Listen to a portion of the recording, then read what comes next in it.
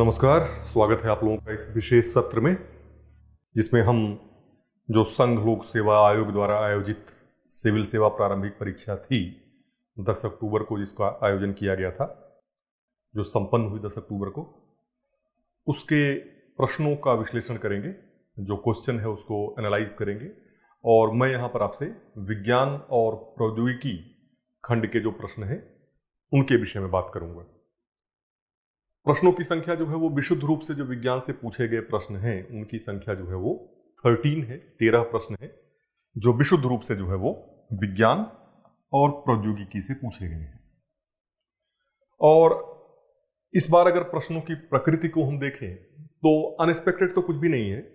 प्रश्नों का जो क्षेत्र होता है, जो एरिया होता है, जो रीजन होता है, वहीं से पूछे गए हैं प्रश्न। और आप कभी इस बात पर एनालाइज करेंगे, इस चीज़ इस पर, इस बात पर कभी गौर करेंगे अगर आप? तो और अक्सर जो है क्लासेस में इन बातों को इंगित भी किया जाता है कि जो कृषि क्षेत्र है, स्वास्थ्य का क्षेत्र है, पर्यावरण का क्षेत्र है, ये बहुत महत्वपूर्ण क्षेत्र है और यहाँ से आपको कुल प्रश्नों में से लगभग सत्तर से पचहत्तर प्रश्न परसेंट प्रश्न जो है वो, सत्तर से पचहत्तर प्रतिशत जो प्रश्न है वो आपको इन्हीं क्षेत्रों से प्राप्त होते हैं। कुछ प्रश्न जो है आपसे जो जनरल अवेयरनेस के हैं, जो आपसे उम्मीद की जाती है कि इन चीज़ों पर आप देखें अपने आसपास, उन चीज़ों पर थोड़ा सा विचार करें। और कुल मिलाकर वही है कि आप कितने अटेंटिव हैं, कितना जो है आप अपने आसपास की चीज़ों पर गौर करते हैं, कितने उन पर कितना ध्यान देते हैं। तो कुछ प्रश्न ऐसे हैं और कुछ प्रश्न जो है वो स्वास्थ्य, कृषि और पर्यावरण से जुड़े हुए सवाल आपसे पूछे गए हैं। तो बहुत ज़्यादा समय न लेते हुए सीधे हम प्रश्नों पर ही आ जाते हैं और चर्चा अपनी जो है वह शुरू कर देते हैं। यहाँ पर जो स्लाइड आपको दी गई है, इसमें आपके जो क्वेश्चन पेपर का सेट है, उसको लिखा गया है। और किस सेट में प्रश्न का नंबर क्या है, इसको भी यहाँ पर दिया गया है। जैसे जो प्रश्न आपके सामने अभी है, जो कि इंग्लिश और हिंदी दोनों में लिखा हुआ है, यह जो है वो अलग अलग सेट में इस क्वेश्चन का नंबर क्या है, इसको दिया गया है ताकि आप सरलता से इन प्रश्नों को ढूंढ सकें और देख सकें। तो पहला प्रश्न जो है वो which one of the following is used in preparing a natural mosquito repellent निम्नलिखित में से किसका उपयोग प्राकृतिक मच्छर प्रतिकर्षी तैयार करने में किया जाता है? चार option Congress grass elephant grass lemon grass और नट ग्रास ये चार ऑप्शन आपके सामने हैं। तो अगर हम कांग्रेस ग्रास के बारे में चर्चा करें एक बार, थोड़ा सा देख लेते हैं सारी बातों को। अगर हम कांग्रेस ग्रास के बारे में चर्चा करें तो कांग्रेस ग्रास जो है वो मच्छर प्रतिकर्षी तो कतई नहीं होती, है ना? ये कांग्रेस ग्रास जो है वो है, और नेटिव मतलब मूल स्थान इस ग्रास का, आप जानते होंगे कि जो अमेरिकन ट्रॉपिक है, वह इसका मूल स्थान है।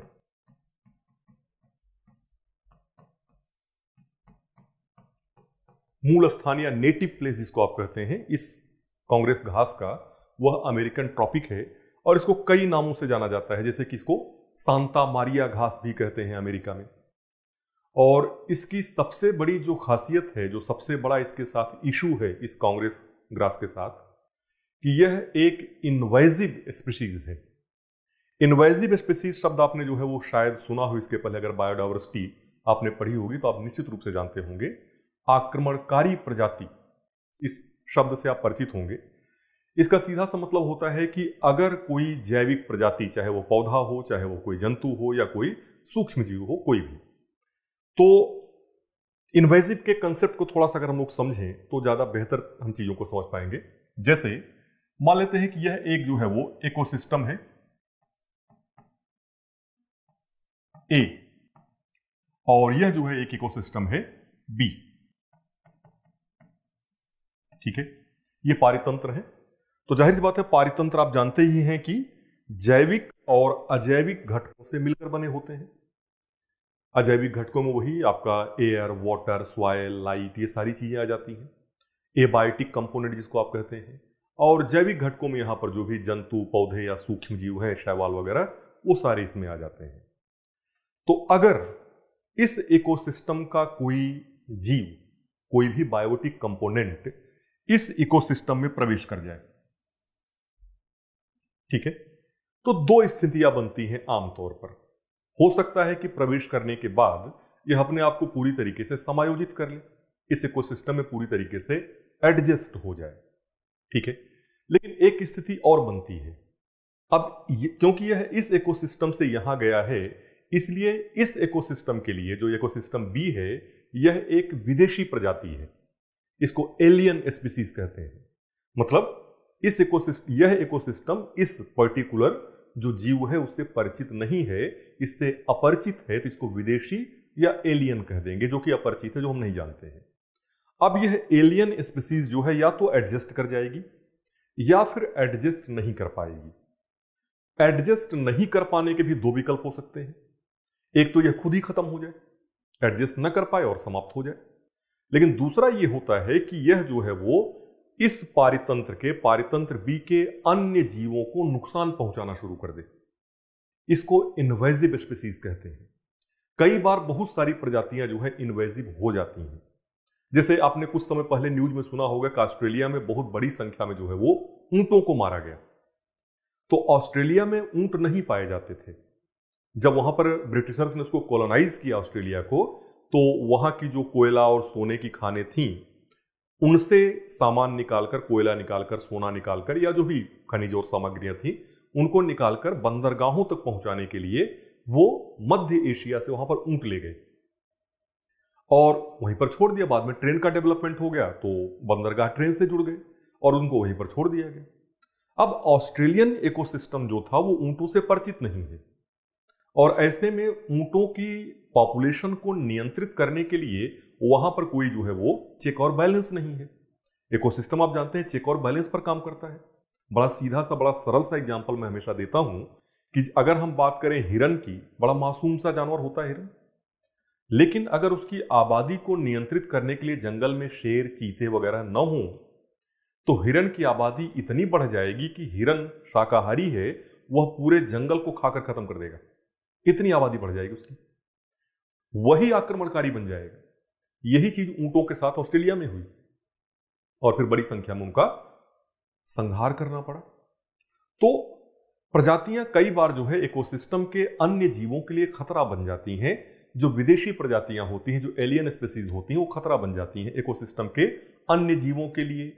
इकोसिस्टम के एबायोटिक कंपोनेंट के लिए भी खतरा बन जाती हैं वो। कैसे उसका इस्तेमाल कर रही है बायोटिक कंपोनेंट का? जो पानी है, उनका उपभोग कैसा है? मिट्टी से खनिजों का अवशोषण किस प्रकार से वो कर रही हैं? और हो सकता है कि जो अन्य पौधे हों या जो अन्य जीव हों, उनको ऑक्सीजन ठीक तरीके से न मिल पाए। पानी में घुली हुई मान लीजिए, या पानी ठीक से न मिल पाए, खनिजों की कमी उनके लिए हो जाए। तो ऐसी प्रजातियों को हमेशा कहते हैं इन्वेजिव स्पेशीज आक्रमणकारी प्रजाति। तो ये जो कांग्रेस ग्रास है यह जो है एक इन्वेजिव स्पीसीज के रूप में जानी जाती है, आक्रमणकारी प्रजाति के रूप में जानी जाती है, विशेष रूप से भारत में, ऑस्ट्रेलिया में और अफ्रीका के कुछ क्षेत्रों में।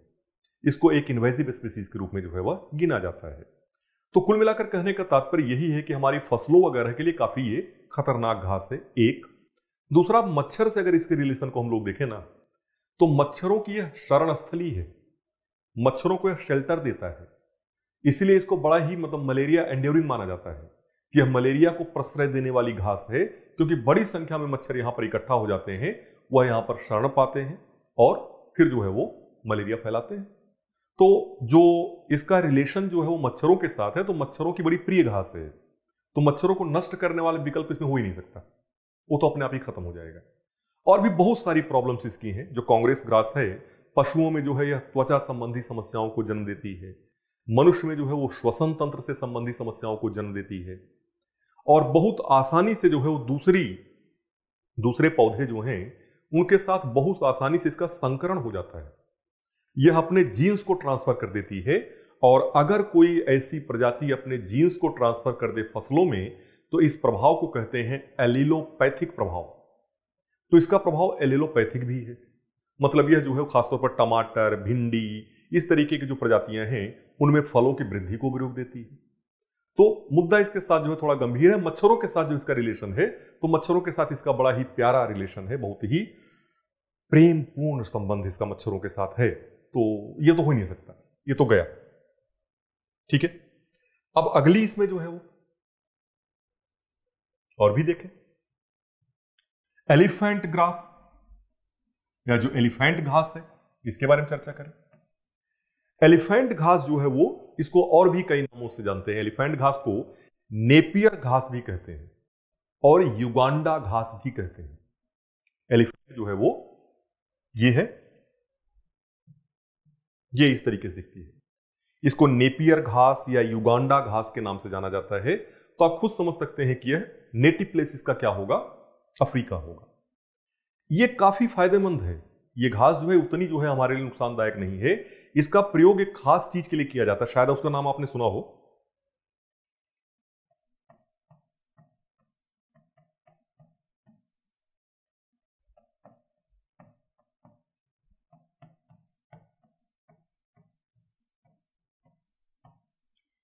Pest push pull technology.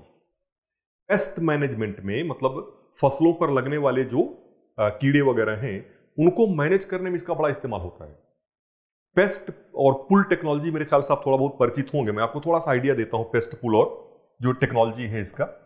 इसमें क्या करते हैं कि जैसे एक कतार जो है हमने, ज्वार, बाजरा या इस तरीके की कोई फ़सल लगा दी, जिनमें जो तनों को छेद करने वाले जो कीड़े होते हैं, बहुत ज़्यादा लगते हैं। तो एक कतार ये लगा दी, एक कतार यहाँ पर लगा दी, ठीक है? एक कतार यहाँ पर लगा दी एक कतार यहाँ पर लगा दी। ये हमारी मेन फ़सल की कतार है, ठीक है? अब बीच में किसी ऐसे घास की या ऐसे जो है वो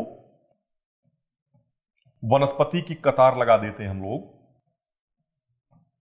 जो पेस्ट को जो है वो पुश करता है। अपनी सुगंध के माध्यम से, अपने एंजाइमों के माध्यम से यह पेस्ट को जो है वो धकेलता है। पेस्ट इसके नज़दीक नहीं आना चाहते। और साथ ही साथ क्या करते हैं?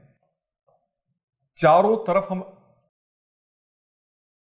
इस तरीके का जो हमारा अभी अभी जिस बारे में बात कर रहे थे, जो हमारी एलिफेंट ग्रास है, इसका जो है वो आवरण लगा देते हैं। अब ये एलिफेंट ग्रास जो है वो पेस्ट को खींचती है, ये पेस्ट को पुल करती है और यह वनस्पति पेस्ट को पुश करती है। तो हमारी ये फ़सल जो है बच जाती है, इसी को पुश पुल टेक्नोलॉजी कहते हैं। ठीक है? तो कृषि में बड़ा उपयोगी एलिफेंट ग्रास जो है हमारे लिए काफ़ी उपयोगी हो जाती है, खासतौर पर अफ्रीकी क्षेत्रों में इसका इस्तेमाल जो है यहाँ पर बड़े पैमाने पर किया जाता है। पुश और पुल टेक्नोलॉजी, जो पेस्ट मैनेजमेंट की टेक्नोलॉजी है, इस संदर्भ में इसका प्रयोग किया जाता है। इसका प्रयोग कई बार जो है वो कुछ दवाओं वगैरह के लिए भी करते हैं तो इसका कोई बहुत ज़्यादा हमारे पास जो है वो नुकसान नहीं है, लेकिन मच्छरों के साथ इसका मच्छर भगाती नहीं है ये। आप देख ही रहे हैं कि यह पुल कर रही है या कीड़ों को खींच रही है तो मच्छर भगाने का काम इससे भी नहीं होगा। तो ये का, ये भी हमारे पास से गया। इसको भी हटा दिया इसको भी हटा दिया। अब इसके पहले हम लेमन घास पर चर्चा करें। क्यों ना हम लोग नट घास को भी देख लें? नट घास तो से आप सभी परिचित होंगे मेरे ख्याल से नट घास को आप सब लोग जानते होंगे। नट घास जो होती है इसको कहा जाता है मोथा। नाम सुना होगा इसका आपने? नगर मोथा या मोथा नाम से इसको जानते हैं। मेरे ख्याल से उत्तर भारतीय तो सभी इससे परिचित होंगे। और इस मोथा को कहते हैं डब्लू डब्लू डब्लू। यहाँ पर डब्लू डब्लू डब्लू का मतलब है वर्ड्स वर्स्ट वीड दुनिया का सबसे वर्स्ट सबसे खराब जो है वो खरपतवार अगर कोई है तो ये अधिकांश खरपतवार नाशियों का असर इस पर नहीं होता। ठीक है? और ये 90 से अधिक देशों में 50 से ज़्यादा फ़सलों की बर्बादी के लिए उत्तरदायी है। ठीक है ये? लेकिन इसके बड़े जो है औषधीय गुण भी हैं। चाइना वगैरह में जड़ी बूटी में इसका प्रयोग खूब होता है। हमारे यहाँ भी कोविड वाले समय में खूब इसका प्रयोग किया गया तो एक अच्छा इम्यूनिटी बूस्टर है। चाय के साथ इसको उबाल के पीना चाहिए, लोगों ने पिया भी खूब। क्योंकि इम्यूनिटी के अगर खुद कुछ ज़्यादा ही चर्चा रही पिछले दो सालों में तो इसको चाय के साथ लोगों ने उबाल उबाल कर पिया। बहरहाल इसको याद रखिए कि बहुत वर्स्ट चीज़ है। खेतों के लिए जो है एक तरीके से आप कह लिए कि टेररिस्ट है, आतंकवादी है। ठीक है? बहुत पैसा जो है किसानों का खर्च होता है इसके प्रबंधन पर। बहुत ज़्यादा खरपतवार नाशी डालने पड़ते हैं, जो हमारी फ़सलों को भी नुकसान पहुंचाते हैं। इनपुट कॉस्ट को बढ़ा देते हैं, इसको जो है वो हटाने के लिए जो है मजदूरों को लगाना पड़ता है। तो कुल मिलाकर एग्रीकल्चर की इनपुट कॉस्ट बढ़ाने में इसका जो है वो बड़ा योगदान है। मच्छरों के साथ इसका भी कुछ खास लेना नहीं है। तो ये भी आउट है। तो बचा क्या है? अगर ये सारी चीज़ें आउट है तो बचा है तो हमारे पास यही ना। लेमन ग्रास लेमन ग्रास के साथ खास बात क्या है कि इसमें एस्कॉर्बिक एसिड होता है। जिसको विटामिन सी भी कर सकते हैं वैसे तो आप, है ना? इसकी खुशबू की वजह से इसकी जो स्मेल होती है, वो नींबू जैसी होती है। इसीलिए इसको लेमन ग्रास कहते हैं। लेमन ग्रास काफ़ी उपयोगी है, मच्छरों को भगाने में यह एक तरीके से नेचुरल मॉस्किटो रिप्लेंट है। इसको घरों वगैरह में लोग, गमलों वगैरह में भी लगाते हैं, इस लेमन ग्रास को। और ये काफ़ी कुशलता के साथ जो है वो आपके यहाँ से जो मच्छर हैं, उनको भगा सकती है। और यह भी एक अच्छी इम्यूनिटी बूस्टर है। ठीक है? बढ़िया इम्यूनिटी बूस्टर के रूप में इसको जाना जाता है। ठीक है? तो लेमन ग्रास जो है वो आपका आंसर होगा इसमें जो आपका ये प्रश्न है इसमें आपका आंसर लेमन ग्रास है आंसर सी इस प्रश्न का उत्तर। ठीक है? बाकी घासों पर थोड़ी बहुत चर्चा हमने की है। आप थोड़ा इन्वेजिव स्पीशीज को भी याद रखिएगा यहाँ से प्रश्न बन सकता है। और डब्ल्यू को तो ज़रूर याद रखिएगा। आप अपने खेतों की तरफ़ जाइएगा अगर आप, आप लोग गाँव से जुड़े हुए हैं तो उधर आप जाएँगे तो आप पाएँगे कि डब्ल्यू डब्ल्यू डब्ल्यू खूब वहाँ पर होगा है ना? तो इसको याद रखेंगे थोड़ा सा। नेक्स्ट सवाल पर चलते हैं। घास से होते हुए।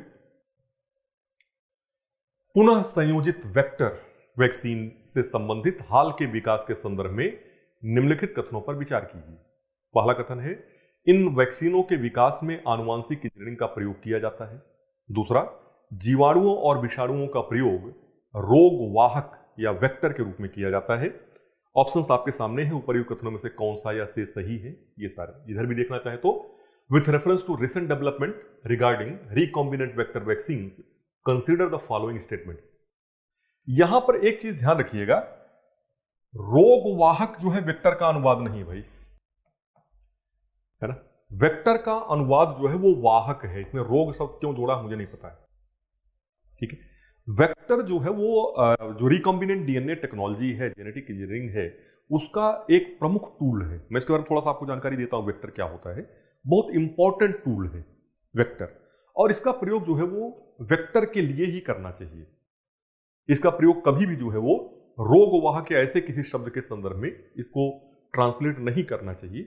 तो हम इसके बारे में चर्चा करते हैं कि वेक्टर क्या है और फिर आपको रिकॉम्बिनेंट जो वैक्सीन है उसके बारे में बताता तो इसमें देखते हैं वैक्सीन तो मेरे ख्याल से आप उस शब्द से परिचित होंगे। रिकॉम्बिनेंट शब्द से भी मेरे ख्याल से परिचित हूँ थोड़ा बहुत परिचय आपका करवा देता हूँ। बहुत डिटेल में तो नहीं जा पाएँगे, क्योंकि रिकॉम्बिनेंट डीएनए टेक्नोलॉजी अपने आप में एक टेक्नोलॉजी है, पूरा डिटेल में तो इसके वाहक और प्रोसेस पूरा बताना पड़ेगा। लेकिन थोड़ा बहुत मैं आपको परिचय से करवा देता हूँ, ताकि इससे जुड़े जो सवाल हैं उसको आप समझ सकें भविष्य में भी। देखिए वैक्सीन जो है वो रोग प्रतिरक्षा, इसको टीका कहते हैं। रोग प्रतिरक्षा, रोगों से बचाने के लिए इनका प्रयोग किया जाता है। मेडिसिन और वैक्सीन में बेसिक डिफरेंस यही है कि वैक्सीन जो है वो आपको रोग होने के पहले दी जाती है ताकि आपको रोग हो ना, और मेडिसिन जो है रोग होने के बाद दिया जाता है। तो वैक्सीन जो है वह साधन है जिसके माध्यम से किसी रोग कारक के संदर्भ में शरीर को भविष्योन्मुखी स्मृति दी जाती है। एक फ्यूचरिस्टिक मेमोरी जो है हमारे शरीर को दी जाती है, ताकि भविष्य में कभी वह रोग कारक हमारे शरीर में आए तो हमारा शरीर उसको आसानी से पहचान ले। वैक्सीन वही होते हैं कुल मिलाकर। वैक्सीन के बनाने के बहुत सारे तरीके और वैक्सीन के बहुत सारे प्रकार भी हैं, ठीक है? लाइव एटेन्यूएटेड वैक्सीन होती है, या जो है वो डेड जो रोग कारक है उनका प्रयोग करके। इसमें सिंपल होता क्या है कि जो रोग कारक है, जिससे रोग उत्पन्न हो रहा है, उसको मारकर, निष्क्रिय कर कर आपके शरीर में प्रवेश करा दिया जाए। ताकि वह रोग पैदा न कर सके, लेकिन हमारा शरीर उससे परिचित हो जाए। एक तरीका तो यह है। दूसरा तरीका यह है कि पूरे के पूरे रोग कारक को प्रवेश न कराया जाए। उसके किसी खास हिस्से को प्रवेश कराया जाए। ठीक है? जैसे हम बात करें अपने कोविड नाइन्टीन जो बहुत ज़्यादा चर्चा में रहा। अपना कहना तो ठीक नहीं है, लेकिन फिर भी कर लेते जो कोविड नाइन्टीन वाला हमारा वायरस है, वायरस के बारे में अभी मैं थोड़ी चर्चा आपसे और भी करूँगा।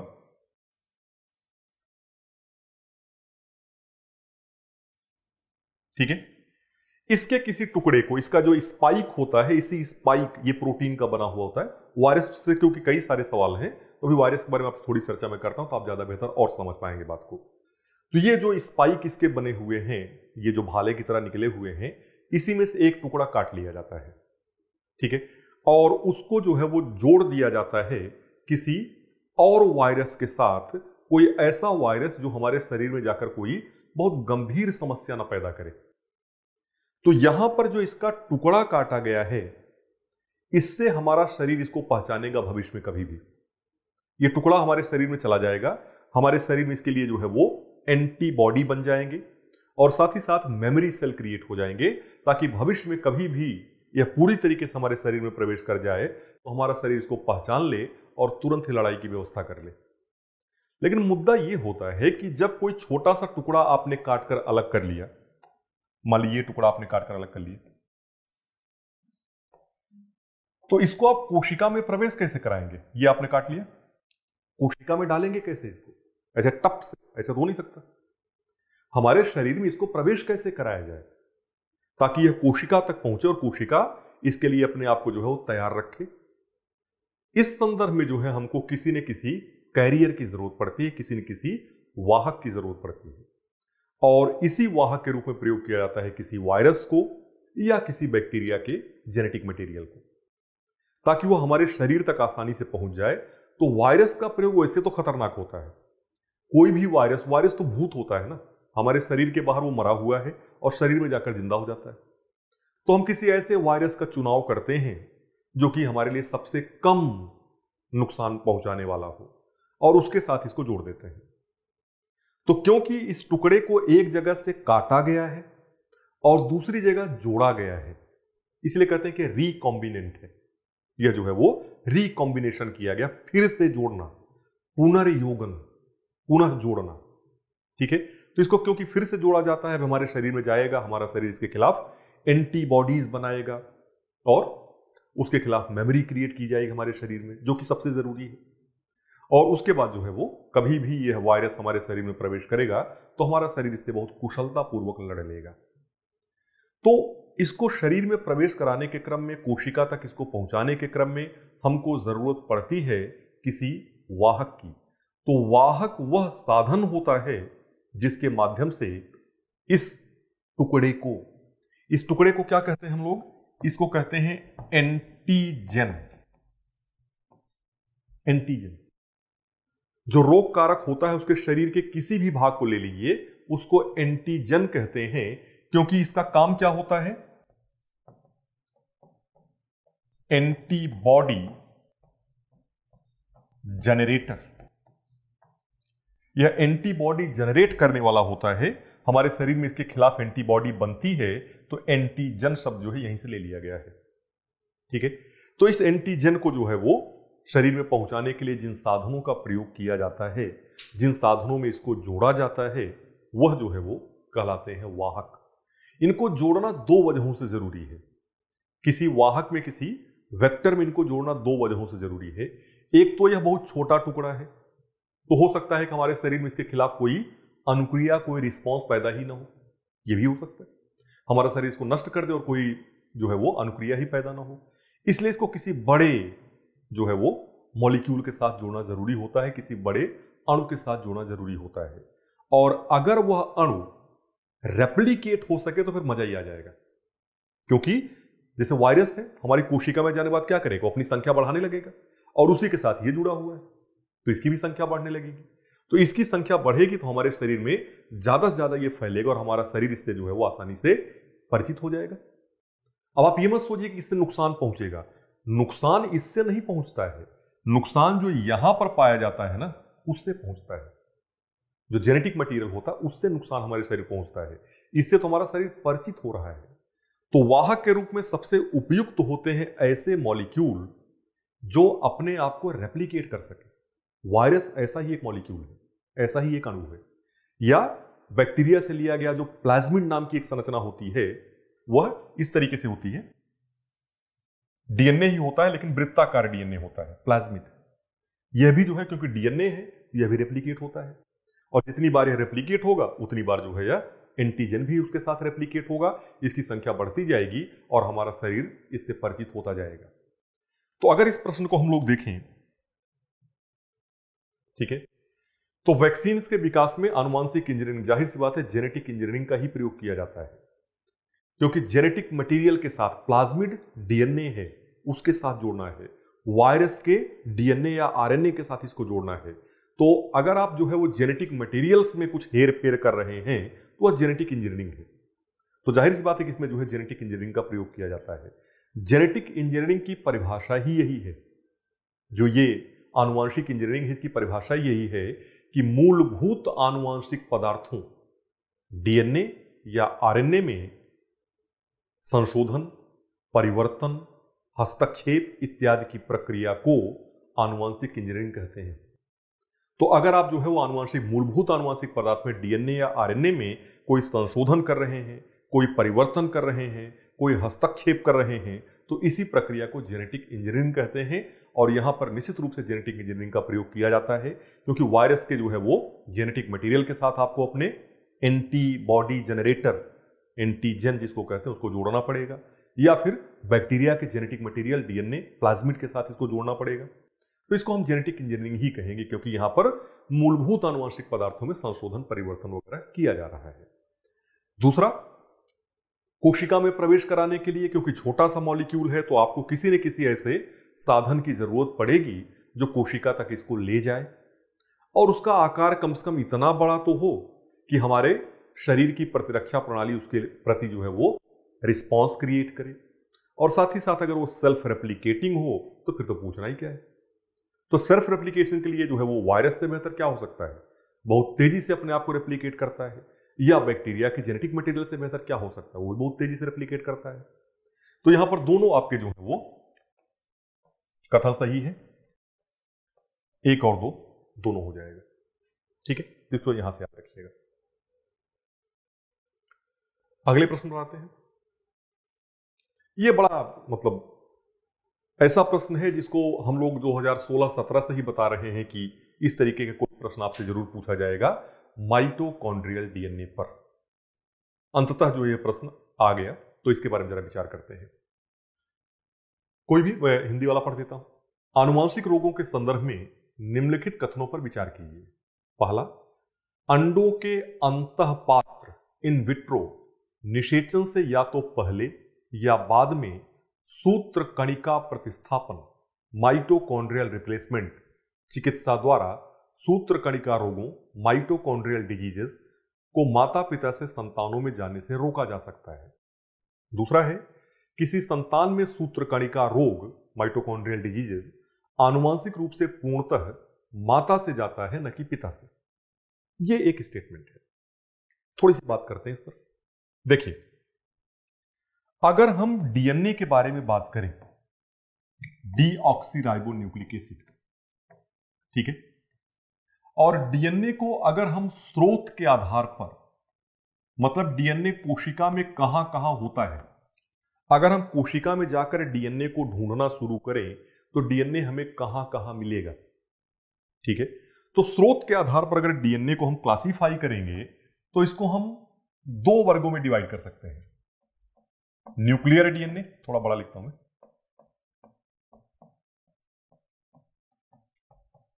मतलब वह डीएनए जो कि कोशिका के केंद्रक में होता है। मुख्य रूप से डीएनए कोशिका के केंद्रक में ही होता है। लेकिन एक्स्ट्रा न्यूक्लियर डीएनए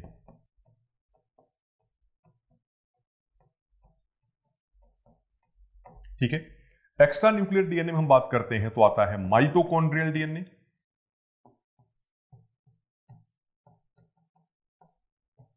जिसे आमतौर पर हम एमटी डीएनए कह देते हैं। और प्लास्टिड डीएनए मतलब वह डीएनए जो कि लवक में पाया जाता है, हरित लवक में पाया जाता है, उस डीएनए को प्लास्टिड डीएनए कहते हैं। अब हम अगर अपनी बात कर रहे हैं तो हम तो जंतु हैं, और जंतुओं में ये तो होगा नहीं। जंतु में प्लास्टिड तो होता ही नहीं है। तो हमारे शरीर में अगर देखेंगे तो माइटो, जो आपका न्यूक्लियर, न्यूक्लियस में मुख्य रूप से जो डीएनए होगा वो केंद्रक में होगा। ठीक है? और इसकी एक छोटी सी मात्रा जो है वो माइटोकॉन्ड्रिया में भी होती है। ठीक है? अब एमटी डीएनए के बारे में अगर हम लोग थोड़ी सी बात कर लें तो और बातें क्लियर हो जाएँगी। मतलब माइटोकॉन्ड्रियल डीएनए के बारे में बात करें अगर हम लोग। तो माइटोकॉन्ड्रियल डीएनए इतना छोटा होता है कि इसमें केवल 37 जीन होते हैं।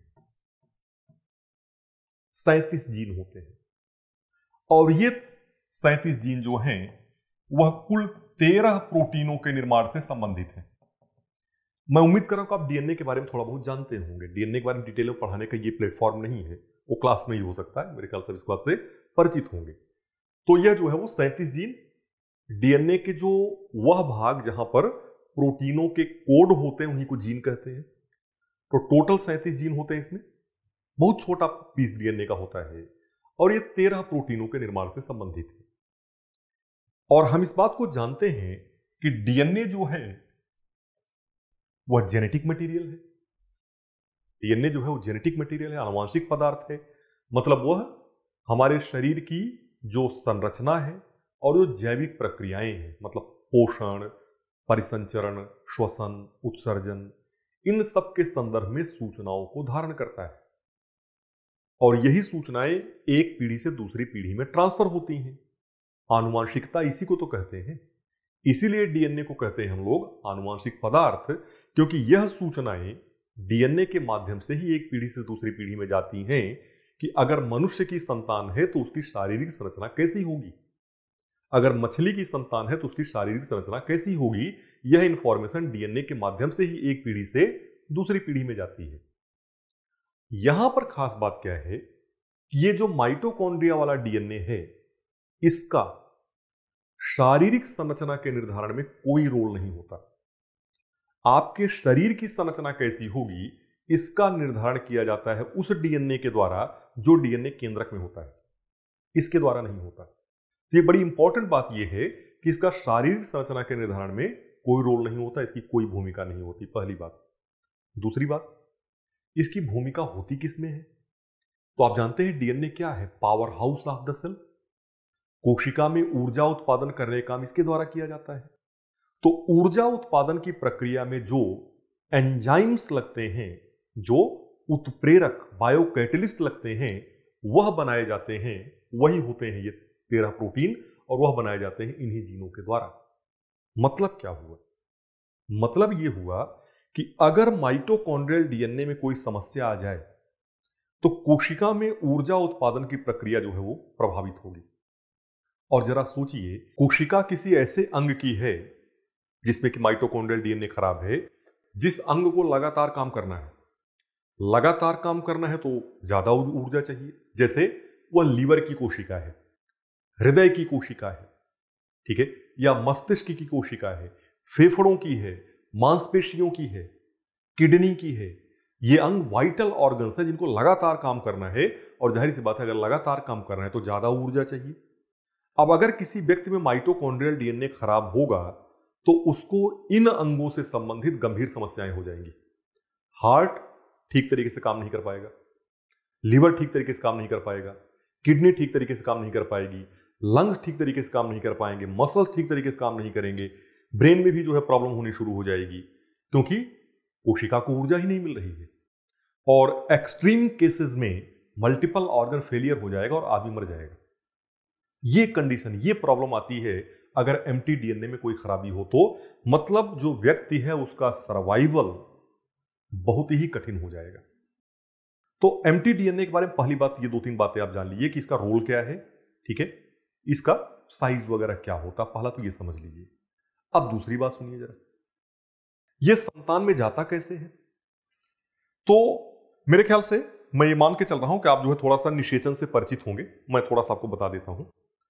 जैसे ये जो है वो मान लेते हैं कि ओवम है। बहुत छोटा साइज़ होता, मैंने तो फिर भी बड़ा सॉरी स्पर्म है। स्पर्म ठीक है? एन का मतलब यहाँ पर जो है वो गुणसूत्र की संख्या, तेईस गुणसूत्र। स्पर्म का साइज़ बहुत छोटा होता है। और ये हम मान लेते हैं कि ओम है। एन मतलब यहाँ पर एक गुणसूत्र है, ये ओम है हमारा। ठीक है? मतलब ये माता की तरफ़ की वाली कोशिका है, ये पिता की तरफ़ वाली कोशिका है। यह दोनों जब आपस में मिलते हैं तो इसी को हम निषेचन या फर्टिलाइजेशन कहते हैं। लेकिन मैं चाहता हूँ कि आप थोड़ा सा इस पर गौर करिए।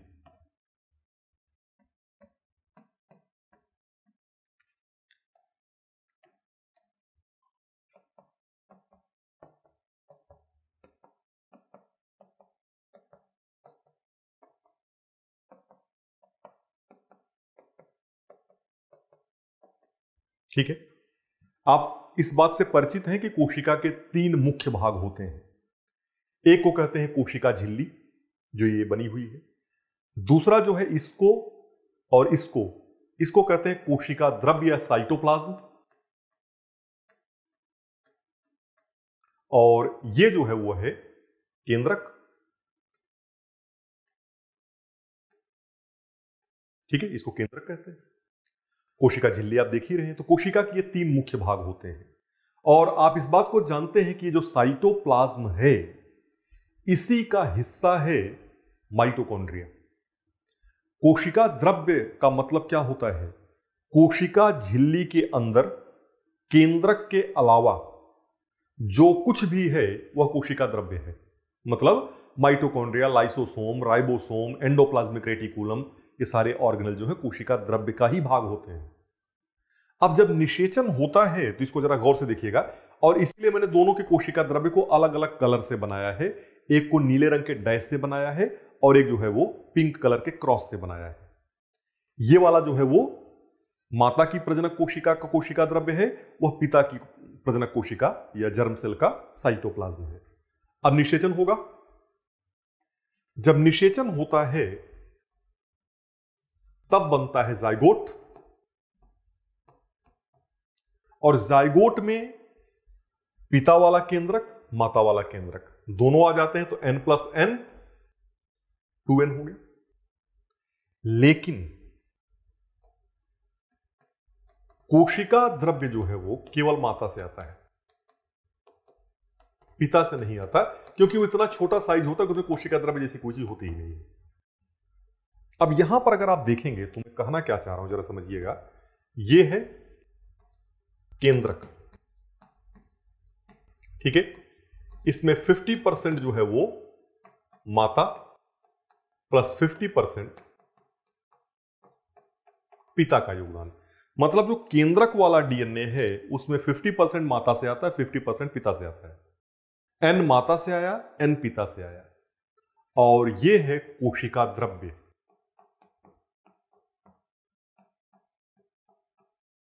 हंड्रेड परसेंट माता से। इसका मतलब क्या है? कोशिका द्रव्य जो है सौ परसेंट अगर माता से आ रहा है तो इसका मतलब कि कोशिका द्रव्य के जो हिस्से हैं, वो भी माता से आ रहे हैं। माइटोकॉन्ड्रिया पूरी तरीके से माता से आ रहा है। और अगर माइटोकॉन्ड्रिया माता से आ रहा है तो फिर माइटोकॉन्ड्रियल डीएनए भी तो माता से ही आएगा। कहने का तात्पर्य यह है कि जो माइटोकॉन्ड्रियल डीएनए होता है, वह पूरी तरह से जो ऑफ़ स्प्रिंग्स होती हैं जो संतानें होती हैं, चाहे वो लड़का हो, चाहे वो लड़की हो। माइटोकॉन्ड्रियल डीएनए पूरी तरीके से माता से प्राप्त होता है। उसमें पिता का योगदान शून्य परसेंट का होता है। ठीक है? क्योंकि इस तरीके से ये प्रोसेस चलता है, और इसलिए मैंने इसको ऐसा बनाया ताकि आप इस बात को समझ सकें कि यहाँ पर तो एन और एन टू एन हो गया, लेकिन यहाँ पर जो आप देख रहे हैं कि सिर्फ़ पिंक क्रॉस मैंने लगाए हैं, ये नीला वाला डैश लगाया ही नहीं है। अगर पूरा का पूरा साइटोप्लाज्म ही माता से है इसका मतलब माइटोकॉन्ड्रिया भी माता से है और इसका मतलब कि माइटोकॉन्ड्रिया, माइटोकॉन्ड्रियल जो डीएनए है, माइटोकॉन्ड्रिया वाला जो डीएनए है, जो एमटी डीएनए है, वह भी संतान को केवल माता से प्राप्त होता है। इसका मतलब यहाँ पर जो है, अगर हम आ जाएँ वापस तो एक चीज़ तो कह सकते हैं कि ये वाला तो सही है। अभी इतने पर रुकते कि ये वाला तो सही है। इसमें तो कोई संशय की गुंजाइश ही नहीं है। और इससे हमको पता चलता है कि हमारे पास अब ऑप्शन जो है वो केवल ये बच रहा है। और ये बच रहा है। ये वाला तो गया, ये वाला भी गया। अब इन दोनों में से हमको चुनना है कि हमारा आंसर क्या होगा। अब हमको देखना क्या पहला वाला भी सही है। देखें जरा। देखिए टेक्नोलॉजिकल डिटेल बहुत ज़्यादा हो जाएगी, इसलिए बहुत डिटेल में तो नहीं जाऊँगा मैं, लेकिन फिर भी थोड़ा बहुत आपको आइडिया देता हूँ। माइटोकॉन्ड्रियल डीएनए का दोष माइटोकॉन्ड्रियल डीएनए से उत्पन्न होने वाली समस्या को दूर करने का उपाय क्या है? मान लीजिए कि एक है मिस्टर एक्स और एक है मिसेज एक्स ठीक है? और मिसेज एक्स में जो माइटोकॉन्ड्रियल डीएनए है, वह डिफेक्टेड है। हमको पहले से ही पता है। ये बात तय है कि जो बच्चे होंगे, उनमें माइटोकॉन्ड्रियल डीएनए से संबंधित समस्याएँ होंगी, और वो सारी बातें जो अभी की, उन उन अंगों से रिलेटेड प्रॉब्लम होगी। मतलब उसका जीवन जो है वो कोई बहुत अच्छा नहीं होगा। अब ये चाहते हैं कि इनका बच्चा, ये दोनों चाहते हैं कि इनका जो बच्चा है, उसमें ये समस्या ना होने पाए। तो ये क्या करेंगे? सीधा सा इशू है कि माइटोकॉन्ड्रिया इनका जाने ही मत दीजिए, है ना? माइटोकॉन्ड्रियल डीएनए रिप्लेसमेंट थेरेपी, ठीक है? अब इनको करनी पड़ेगी क्या? अगर ये ऐसे हैं तो इनको करनी पड़ेगी माइटोकॉन्ड्रियल डीएनए रिप्लेसमेंट थेरेपी या माइटोकॉन्ड्रियल रिप्लेसमेंट थेरेपी डीएनए हटाकर भी वही मुद्दा आएगा। कैसे कर सकते हैं रिप्लेसमेंट ये? रिप्लेसमेंट के दो तरीके हैं। एक है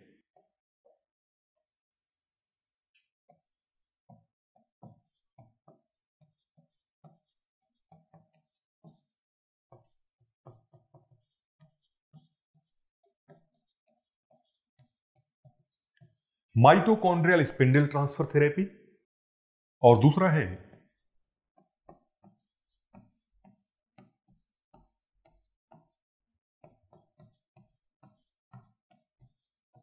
प्रो न्यूक्लियर ट्रांसफ़र।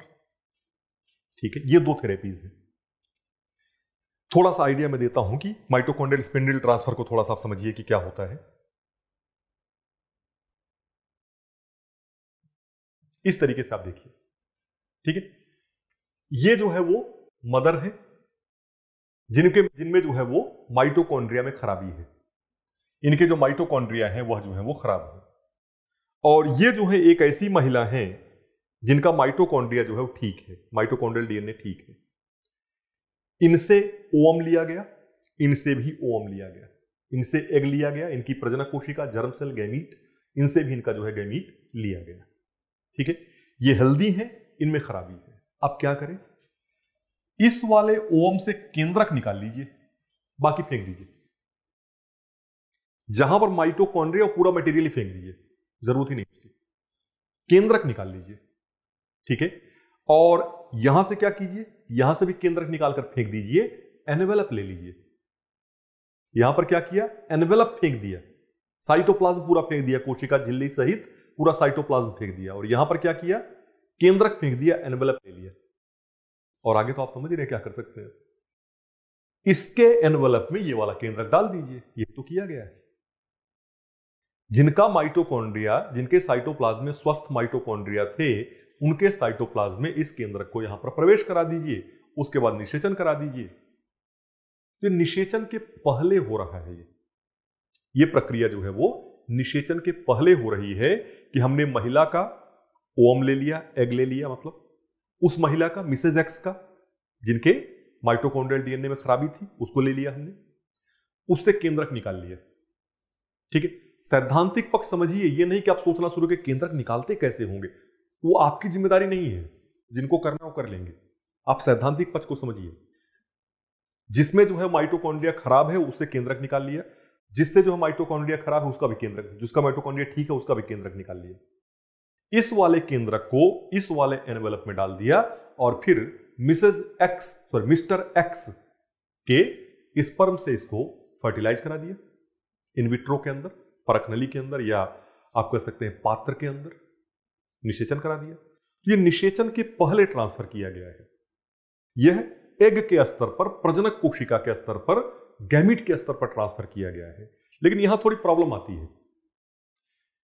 ये जब ट्रांसफ़र किया जाता है ना तो इसके साथ जो है वो दो चार माइटोकॉन्ड्रिया भी चले ही जाते हैं।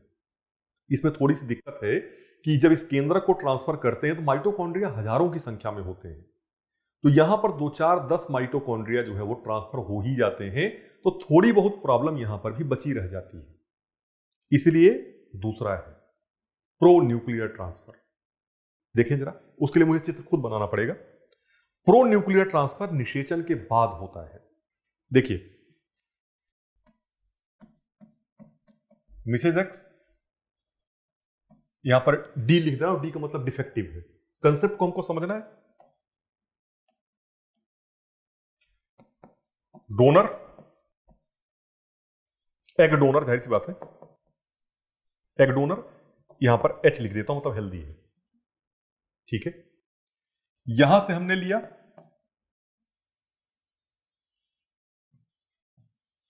ये, यहाँ पर मैं टिक लगा दे रहा हूँ। हेल्दी वाला है। ठीक है? यहाँ से। ओम लिया। ये खराब वाला है। ठीक है? अब इन दोनों एग्स को जो आपने डोनर से करेक्ट वाला लिया है और ये जो है वो माइटोकॉन्ड्रिया खराब वाला लिया है।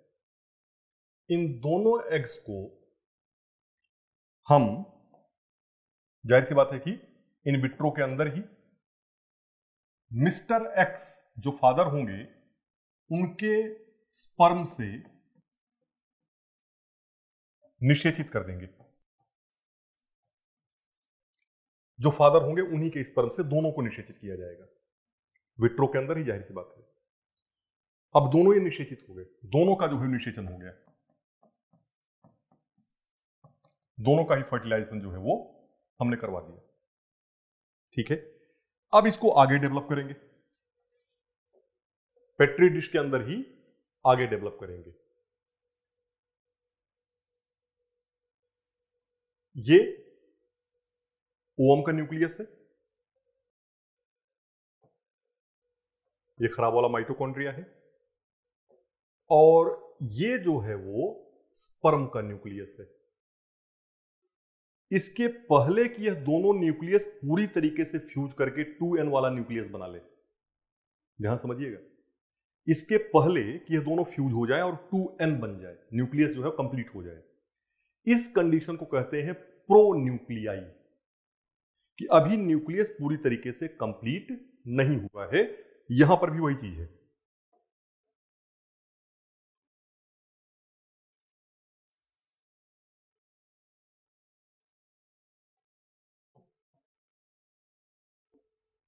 ये ये जो है वो प्रो न्यूक्लियाई कहलाते हैं। और यहीं पर आप ट्रांसफ़र करेंगे हम लोग ठीक है?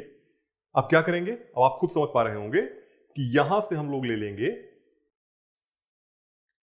केवल एनवेलप को। करेक्ट वाला। ठीक है? और ये जो संरचना है, इसको निकालकर फेंक देंगे। एन एन इसको हम जो है वो नष्ट कर देंगे। इसकी हमको ज़रूरत नहीं है। और इसको जो है इसके अंदर ट्रांसफ़र कर देंगे।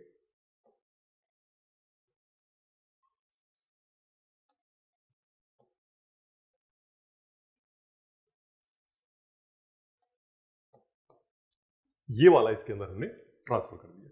और इसको हमने नष्ट कर दिया। ये है प्रो न्यूक्लियस ट्रांसफ़र ये स्पिंडल ट्रांसफ़र से ज़्यादा बेहतर है। यहाँ पर एक भी माइटोकॉन्ड्रिया ट्रांसफ़र नहीं होता है। ठीक है? तो ये कंडीशन जो है निषेचन के बाद ट्रांसफ़र किया जा रहा है। इसके पहले जो आप देख रहे थे, निषेचन के पहले हमने एग के स्तर पर ही जो है वो मॉडिफिकेशन कर दिया था। यहाँ पर हम क्या कर रहे हैं? जाइगोट के स्तर पर मॉडिफिकेशन कर रहे हैं। मतलब प्रो न्यूक्लिया इसके पहले की न्यूक्लियस बन जाए, उसके पहले ही हम लोग जो है वो इसको ट्रांसफ़र कर दे रहे हैं। ठीक है? अब इसके आगे जो डेवलपमेंट होगा, वो आगे चार से पाँच दिन इसको जो है परख नली के अंदर ही रखेंगे। छठवें या सातवें दिन इसको जो है वो गर्भाशय में स्थापित कर दिया जाएगा। ठीक है? तो अब ये जो बच्चा पैदा होगा, या जो पीछे बच्चा पैदा हो रहा था, उस पर अगर आप गौर करें तो क्या पाएँगे? इन बच्चों में यहाँ से भी, चाहे वहाँ से भी। हमारा आंसर तो हो जाएगा इससे कि निषेचन के पहले भी ट्रांसफ़र करते हैं, निषेचन के बाद भी ट्रांसफ़र करते हैं। माइटोकॉन्ड्रिया को निषेचन के पहले भी रिप्लेसमेंट किया जा सकता है उसका, निषेचन के बाद भी किया जा सकता है। लेकिन एक बात इसमें और जरा गौर करें आप, कि जो बच्चा पैदा होने जा रहा है, चाहे यहाँ से, चाहे वहाँ से, उस बच्चे में तीन लोगों का डीएनए है। तीन लोगों के जेनेटिक करेक्टर उस बच्चे में है। एक, इनका एक इनका, मिस्टर एक्स का, और एक इनका, जिनका कि सिर्फ़ माइटोकॉन्ड्रियल डीएनए लेकिन डीएनए तो है ना। तो तीन लोगों के जेनेटिक करेक्टर के साथ यह बच्चा पैदा होगा, और ऐसे बच्चे जिनके, जिनमें तीन व्यक्तियों के आनुवांशिक लक्षण सम्मिलित हों, उनको कहते हैं थ्री पेरेंट बेबी इस बात को याद रखिएगा। सरोगेसी से पैदा होने वाला बच्चा थ्री पेरेंट बेबी नहीं कहलाता। उसमें भी जो है तीन लोग शामिल होते हैं। एक वह माता जो गर्भ में धारण करती है, एक वह जिसका ओवम होता है और एक वह पुरुष जिसका स्पर्म होता है। लेकिन बच्चे में जेनेटिक करेक्टर केवल जो है वो उन दोनों से, उसको थ्री पेरेंट बेबी नहीं कहते, हम कभी भी नहीं कहते। यहाँ पर इसको हम कहते हैं कि यह थ्री पेरेंट बेबी है। क्योंकि सरोगेसी के अंदर जो है वो जेनेटिक करेक्टर केवल दो लोगों के होते हैं, जो उसके जेनेटिक माता पिता होते हैं उनके। इसलिए सरोगेट बच्चे को, कभी सरोगेसी से पैदा होने वाले बच्चे को आप थ्री पेरेंट बेबी नहीं कहेंगे। लेकिन यहाँ पर आप देख रहे हैं कि बच्चे में तीन लोगों के जेनेटिक करेक्टर हैं, इसलिए ऐसे बच्चों को थ्री पेरेंट बेबी कहते हैं। तो यहाँ पर बहुत डिटेल में तो मैं नहीं जा पाया और संभव भी नहीं है आपको समझ रहे हैं। लेकिन हमारे प्रश्न का उत्तर यहाँ से मिल जाएगा कि जब हम माइटोकॉन्ड्रियल स्पिंडल ट्रांसफ़र कर रहे हैं तो निषेचन के पहले कर रहे हैं, और जब हम प्रो न्यूक्लियर ट्रांसफ़र कर रहे हैं तो निषेचन के बाद कर रहे हैं, इसका मतलब यह भी जो है वो सही है और आंसर आपका ये हो जाएगा। ठीक है? दोनों टेक्नोलॉजीज़ मैंने इसलिए आपको समझा दी ताकि कोई संशय न रह जाए। मैं अगर सिर्फ़ बता के निकल जाता तो शायद आपको संशय रहता कि नहीं, पता नहीं सही या गलत है। मैंने दोनों टेक्नोलॉजी जो प्रोमिनेंट टेक्नोलॉजी है, उन दोनों को बता दिया आपको, एक निषेचन के पहले और एक निषेचन के बाद का ट्रांसफ़र जो है वो हो रहा है। निषेचन के पहले वाले में दिक्कत होती है उसमें जो है पूरी तरीके से सुधार नहीं हो पाता है, कुछ चीज़ें जो है बची रह जाती हैं। निषेचन के बाद वाले में जो है वो ऐसी कोई समस्या जो है वो नहीं रह जाती है। तो ये जो है आपका आंसर है। अगला प्रश्न।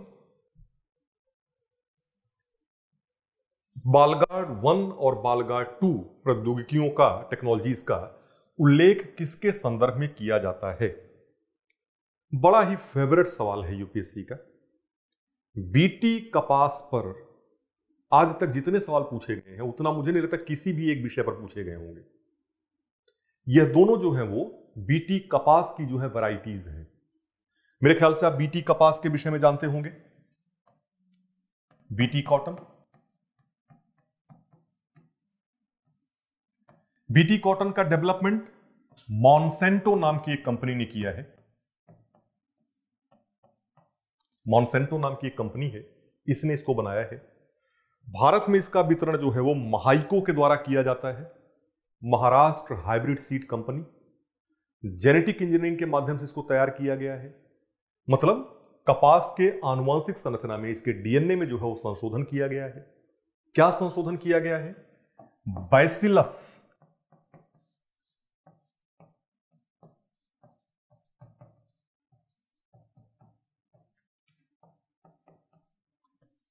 थोरंजियंसिस नाम का एक बैक्टीरिया है, बीटी बैक्टीरिया जो है, इसके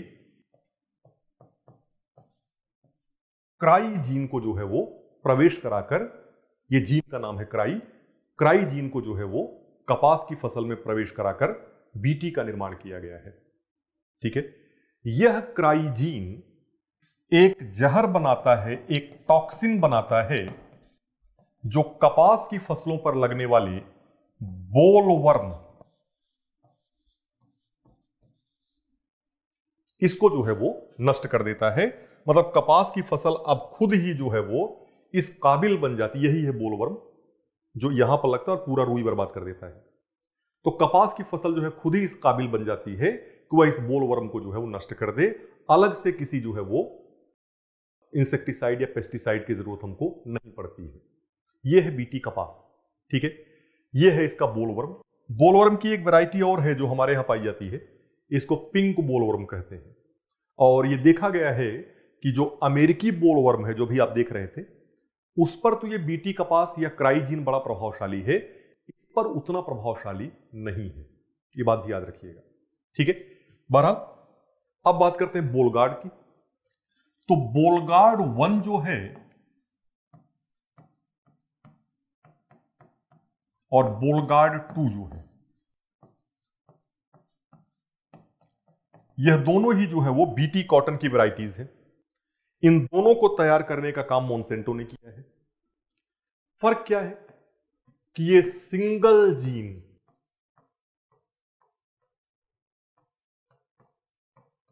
टेक पर आधारित है और ये डबल जीन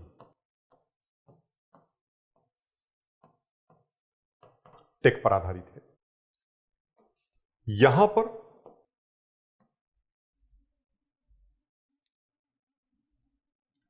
केवल cry one A C gene का प्रयोग किया गया है, जबकि यहाँ पर cry one A C plus cry one A B, इन दो जीन का प्रयोग किया गया है। 2002 में उसको अनुमति भारत में दी गई थी जेनेटिक इंजीनियरिंग अप्रेजल कमेटी के द्वारा, भारत में वाणिज्यिक उत्पादन के लिए कमर्शियल प्रोडक्शन के लिए। और 2006 में अनुमति दी गई थी इसको वाणिज्यिक उत्पादन के लिए। यह चर्चा में एक बार बहुत ज़्यादा आ गया था जब इसको पेटेंट कराने का प्रयास किया था मॉन्सेंटो माहिको ने। लेकिन भारत की सुप्रीम कोर्ट ने मना कर दिया कि इसको पेटेंट नहीं कराया जा सकता क्योंकि यह कोई इनोवेटिव शोध या इनोवेटिव रिसर्च का नतीजा नहीं है। आपने पहले वाले में थोड़ा सा संशोधन भर किया है, यह कोई, हम नहीं कह सकते कि यह कोई आविष्कार है, यह कोई इन्वेंशन नहीं है, यह केवल संशोधन है, इसलिए इस पर पेटेंट नहीं दिया जा सकता।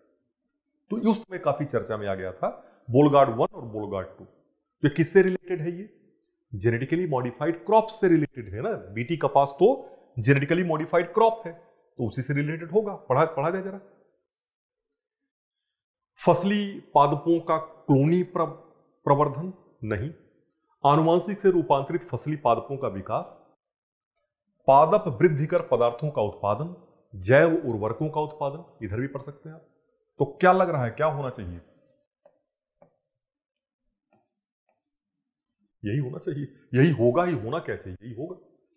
बीटी का पास जेनेटिकली मॉडिफाइड जो है वो क्रॉप प्लांट है और इसी से जुड़ा बोलगार्ड वन और बोलगार्ड टू है। क्राई वन ए सी दूसरे में cry one A C cry one A B 2002 2006 और जेनेटिक जो जे, हमारा अप्रेजल कमेटी है genetic modification G E A C कहते हैं उसको तो उसको भी याद रखिएगा। तो यहाँ से जो है जेनेटिक इंजीनियरिंग अप्रेजल कमेटी इसको जो है वो जो हमारा एनवायरमेंट प्रोटेक्शन एक्ट 1986 है पर्यावरण संरक्षण अधिनियम 1986 उसी के अंतर्गत जो है इसको स्थापित किया गया था जेनेटिक इंजीनियरिंग अप्रेजल कमेटी को।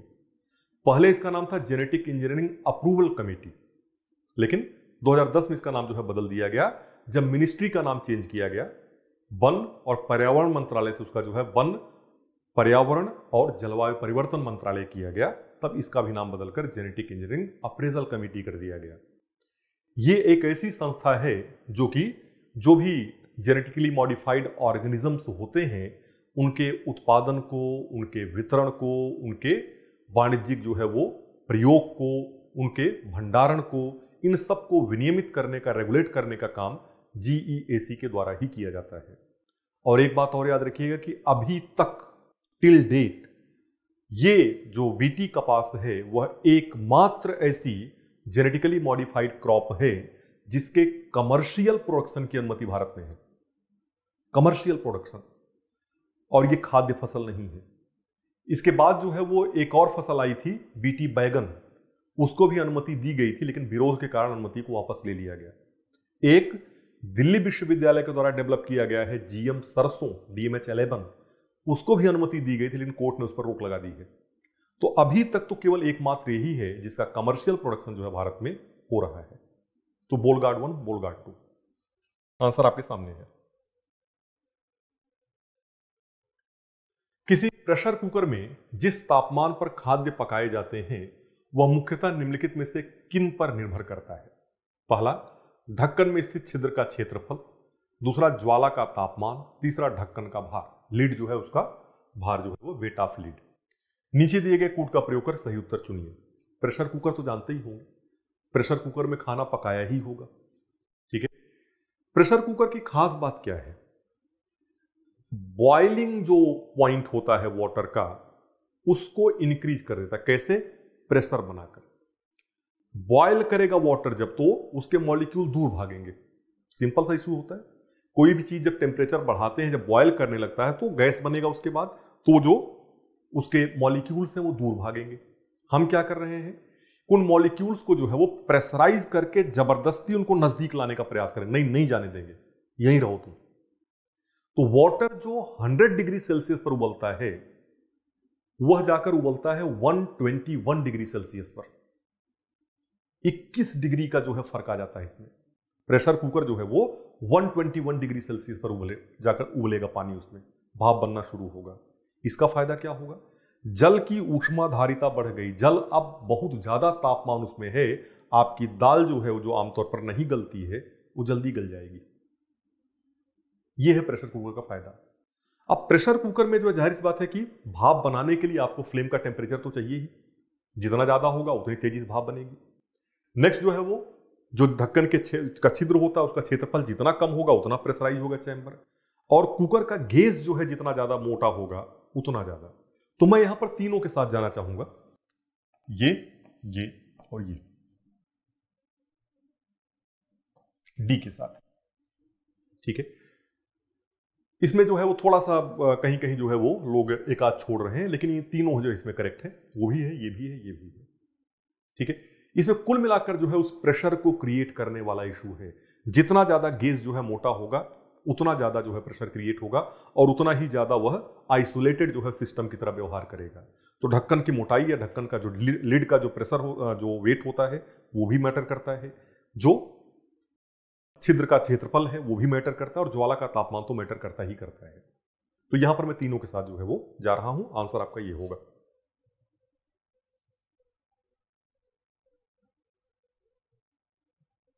इस प्रश्न को लेते हैं, पहले हम लोग जो है वो वायरस को एक साथ ही देख लेंगे।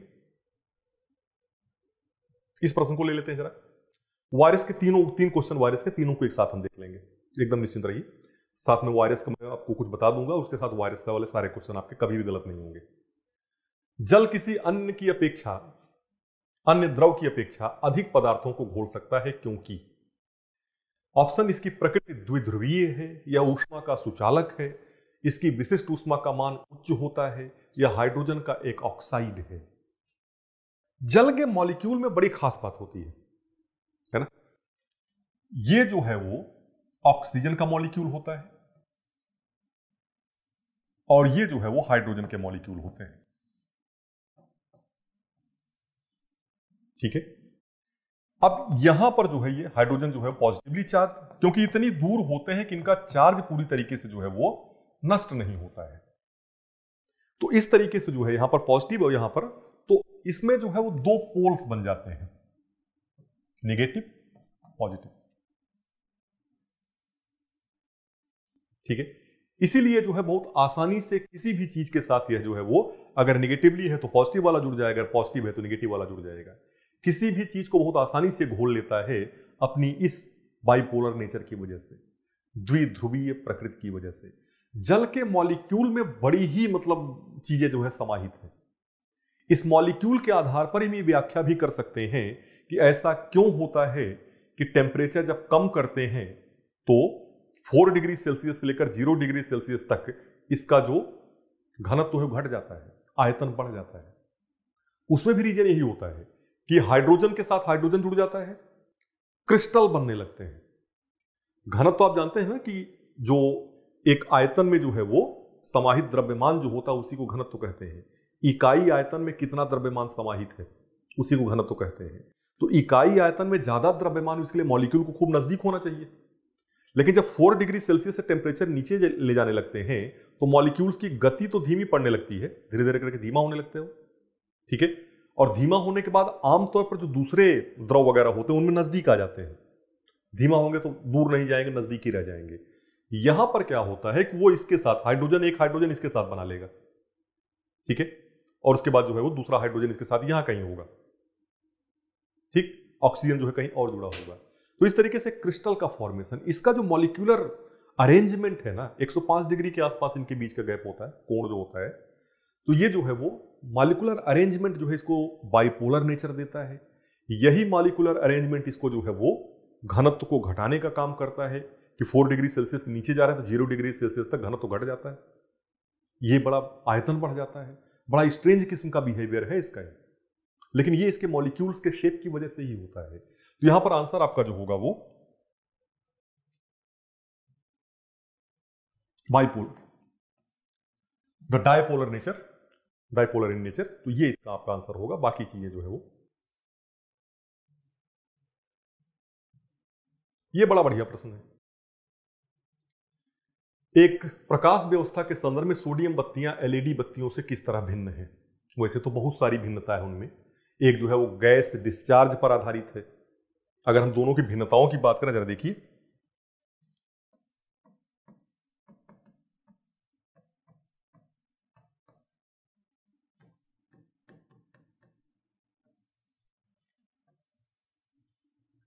अगर प्रणाली की बात करें कार्य प्रणाली क्या है? तो यह जो है वो गैस डिस्चार्ज पर आधारित है।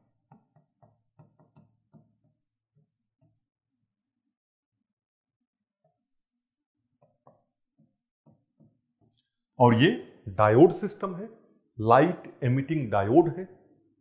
ठीक है, ज़ाहिर बार डायोड अभी यहाँ पर डिटेल में नहीं समझा सकते, लेकिन वो लाइट इमिटिंग डायोड है, यह जो है वो डिस्चार्ज सिस्टम पर है। दूसरा जो इसमें बेसिक डिफरेंस है लाइट का डिफरेंस है। यहाँ पर जो लाइट होती है 589 से लेकर 589.56 नैनोमीटर तक की होती है एलो लाइट ये नैनोमीटर फ्रीक्वेंसी दे दी मैंने, है ना? एलो लाइट होती है मतलब एक ही रंग का प्रकाश होता है। मोनोक्रोमेटिक होता है सिंगल कलर होता है, पीले रंग का प्रकाश आपने देखा होगा। यहाँ पर जो होता है, वो 400 नैनोमीटर से लेकर 700 नैनोमीटर तक होता है। ठीक है तो ज़्यादा विस्तृत परास है इसकी। इसकी लाइट आपको व्हाइट दिखाई देगी, क्योंकि इतनी सारी फ्रीक्वेंसीज का मिश्रण होता है, इसकी लाइट जो है आपको व्हाइट दिखाई देगी। ठीक है? सफ़ेद दिखाई देगी। तो ये भी एक डिफरेंस है इसमें। ये मोनोक्रोमेटिक होती है, जबकि वो ज़्यादा जो है, वो आपको कलर रेंजेस दे सकती है और बेसिकली उसकी लाइट व्हाइट ही होती है। और भी इशू है इसके साथ। इसकी जो लाइफ होती है, वो काफ़ी कम होती है। स्टार्ट होने का टाइम जो है, थोड़ा ज़्यादा लगता है। जब तक गैस जो है, आयनीकृत नहीं हो जाएगी, तब तक लाइट आपको नहीं मिलेगी। और धीरे धीरे करके जो है, वो गैस समाप्त होती जाती है और वह जो है, वो लैंप आपका जो है, वो धीरे धीरे करके खत्म हो जाता है। एलईडी के बारे में बात करें तो सोडियम लैंप से दस हज़ार घंटे ज़्यादा लाइफ उसकी होती है। Ten thousand hours more life इसकी तुलना में उसकी होती है। एक और बड़ा अच्छा कंसेप्ट इसका है। अगर आप एलईडी सॉरी ये ले लें, सोडियम लैंप ले लें तो इसकी लाइट ऐसे फैलती है। सोडियम लैंप की लाइट ऐसे 360 डिग्री फैलती है। और इसी जगह पर अगर आपके पास जो है एलईडी है तो इसकी 180 डिग्री पर फैलती है। 180 पर रहती है इसकी इसकी 360 पर रहती है। तो सोडियम लैंप की तुलना में एलईडी हर हाल में बेहतर है। लाइफ भी उसकी ज़्यादा बेहतर है। एनर्जी इफिशियंसी जो है ज़्यादा है उसकी। जो शेडो नहीं बनता मोनोक्रोमेटिक होगा तो शेडो बनेगा, परछाई बनने लगती है। 360 कवरेज होने की वजह से जो बहुत लंबी दूरी ट्रेवल नहीं कर सकती है। तो बहुत सारी चीज़ें जो है वो एलईडी का प्रयोग बढ़ा रही हैं और यही वजह है। तो हम जरा अपना प्रश्न देखते हैं। तुलना तो हम बाद में देख लेंगे, जरा क्वेश्चन देखा जाए। सोडियम बत्तियाँ प्रकाश को 360 डिग्री में उत्पन्न करती हैं, किंतु एलईडी बत्तियों में ऐसा नहीं 180 पर होता अभी बात की। ये बात तो सही है। इसमें क्या दिक्कत है?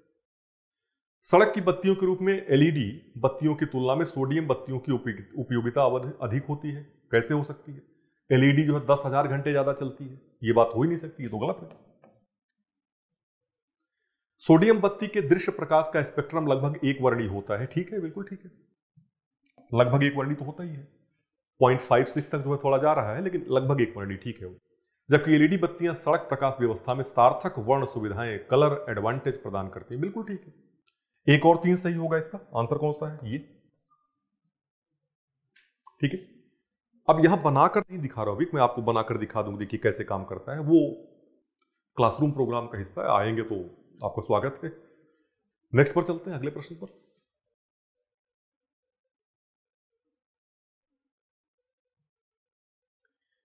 ए सी ई टू पद का उल्लेख, इसको तो निश्चित रूप से आपने करंट अफेयर्स में पढ़ा होगा। निश्चित रूप से पढ़ा होगा। बेसिकली ये जो ए सी ई टू है, ये एक तरीके से इसको कहते हैं angiotensin creating enzyme to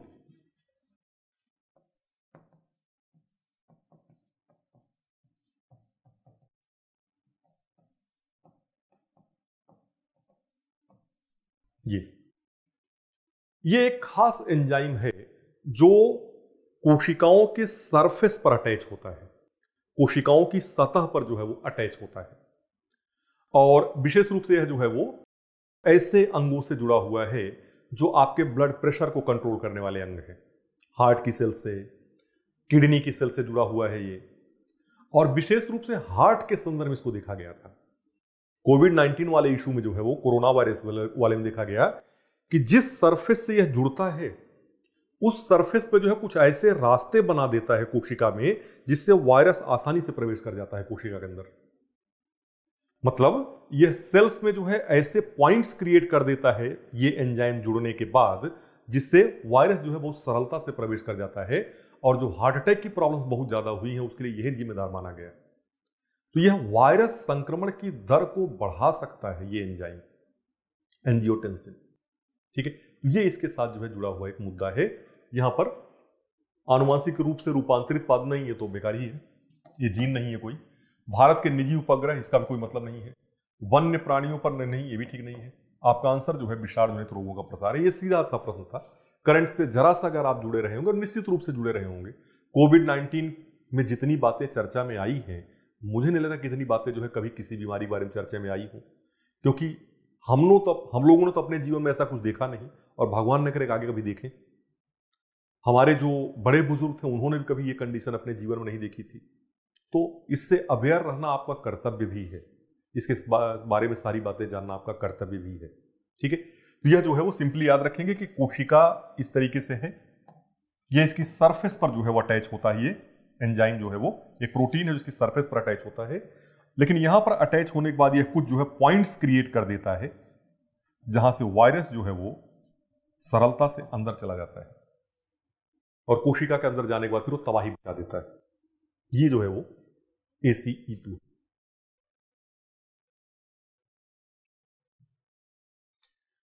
विस्फिनॉल A BPA जो चिंता का कारण है निम्नलिखित में से किस प्रकार के प्लास्टिक के उत्पादन में एक संरचनात्मक मुख्य घटक है?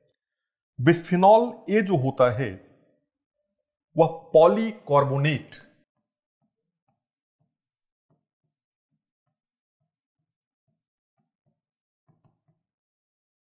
के से बनता है। पॉलीकार्बोनेट जो है, वो एक थर्मोप्लास्टिक फाइबर है। थर्मोप्लास्टिक का जो है सबसे, देखिए, दो होता है, मैं दोनों को चर्चा कर देता हूँ। यहाँ पर करता हूँ मैं थर्मोप्लास्टिक।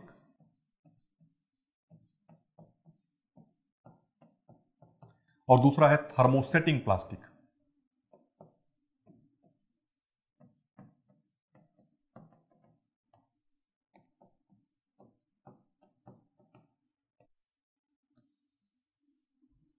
ठीक है?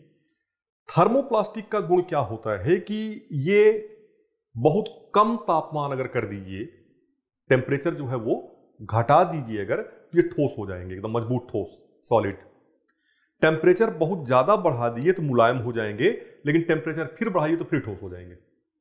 रिसाइकिल में इनका खूब इस्तेमाल हो सकता है। टेम्परेचर कम करने पर ये सॉफ्ट हो जाएँगे टेम्परेचर बढ़ाने पर जो है ये तो टेम्परेचर कम करने पर ये हार्ड हो जाएँगे टेम्परेचर बढ़ाने पर जो है ये सॉफ्ट हो जाएँगे। वो जो है वह बहुत हाई टेम्परेचर पर भी हार्ड बना रहता है, लेकिन अगर एक बार सॉफ्ट हो गया तो फिर अपने शेप में दोबारा वापस नहीं लौटेगा। थर्मोसेटिंग वाला। इसलिए इसका इस्तेमाल खूब किया जाता है बॉटल्स वगैरह बनाने में। जो वाटर बॉटल्स वगैरह आप देखते हैं, खूब इससे जो है बनती है वाटर बॉटल्स वगैरह, खूब बनाई जाती है इससे। थर्मोप्लास्टिक या पॉलीकार्बोनेट से। इसके जो है वो पॉलीमर से बनाई जाती हैं, जो बॉटल्स होती हैं, बड़ी वाली वाटर बॉटल छोटी वाटर बॉटल्स इसके और भी कई सारे इस्तेमाल हैं, जो कैन होता है, बहुत सारे कैंड जो है ड्रिंक आप देखते होंगे कैंड फ़ूड आप देखते होंगे, उसके अंदर की सरफेस बनाने के लिए जो है वो इसको ऑक्सीजन के साथ मिलाकर प्रयोग किया जाता है। एपॉक्सी फॉर्म कहते हैं उसको। तो खूब इस्तेमाल इसका होता है। दैनिक उपयोग की बहुत सारी ऐसी चीज़ें हैं, जिनमें इसका इस्तेमाल जो है खूब किया जा रहा है, इस पॉलीकार्बोनेट का। विस्फिनॉल ए जिसको आप कहते हैं, उसका खूब इस्तेमाल होता है। खासतौर पर अगर अपने घर पर आप वो बड़ा वाला वाटर बोतल बीस लीटर वाला मंगवाते हैं तो उसमें भर भर के होता है। खूब होता है उसमें। तो इस तरीके की चीज़ों को बनाने में, क्योंकि इसमें खास बात यह है, मुलायम हो जाए, लेकिन फिर से अपने शेप को प्राप्त कर लेगा, जैसे टेम्परेचर को आप कम करेंगे तो। इसलिए खूब इस्तेमाल होता है। और चिंता का विषय तो मत पूछिए। कहीं से उठा लीजिए। ये श्वसन संबंधी बीमारियों को जन्म देता है। ये हृदय की जो मांसपेशियाँ हैं, उनको कमज़ोर करता है। ये मोटापे में वृद्धि के लिए उत्तरदायी है। डिप्रेशन के कारक, कारण, का कारण जन्म दे सकता है। रिप्रोडक्टिव डिजीजेस को जो है जन्म दे सकता है। ठीक है? पॉलिसिस्टिक ओवरी सिंड्रोम को जन्म दे सकता है। पीसीओडी कहते हैं, महिलाओं में यह समस्या पाई जाती है। ब्रेस्ट कैंसर में भी इसकी भूमिका देखी गई है। इंसुलिन रेजिस्टेंट मतलब यह जो है डायबिटीज़ भी जनरेट कर सकता है। इन्फ्लामेशन को जन्म दे सकता है कोलन कैंसर को जन्म दे सकता है। ये बहुत खतरनाक चीज़ है। और इसीलिए इस बहुत ज़्यादा चिंता का विषय है। स्वास्थ्य संबंधी ऐसी कोई समस्या नहीं है आपके किसी भी अंग से जहाँ पर इसकी भूमिका को जो है आप इन्वेस्टिगेट न कर सकते हैं। लेकिन उसके बावजूद भी आप देख रहे हैं कि धड़ल्ले के साथ इसका इस्तेमाल होता है। हम लोग बिना जाने, उस डिब्बे पर लिखा होता कभी आप देखें तो उस पर तक लिखा होता है। ये नहीं, किससे बना है वो बिस्फिनॉल वाला? ठीक है? तो ये बहुत चिंता का विषय तो है बहुत ज़्यादा चिंता का विषय है। बहरहाल ये पॉलीकार्बोनेट है थर्मोप्लास्टिक। और थर्मोप्लास्टिक होने की वजह से इसका इस्तेमाल खूब किया जाता है। इसको याद रखिए।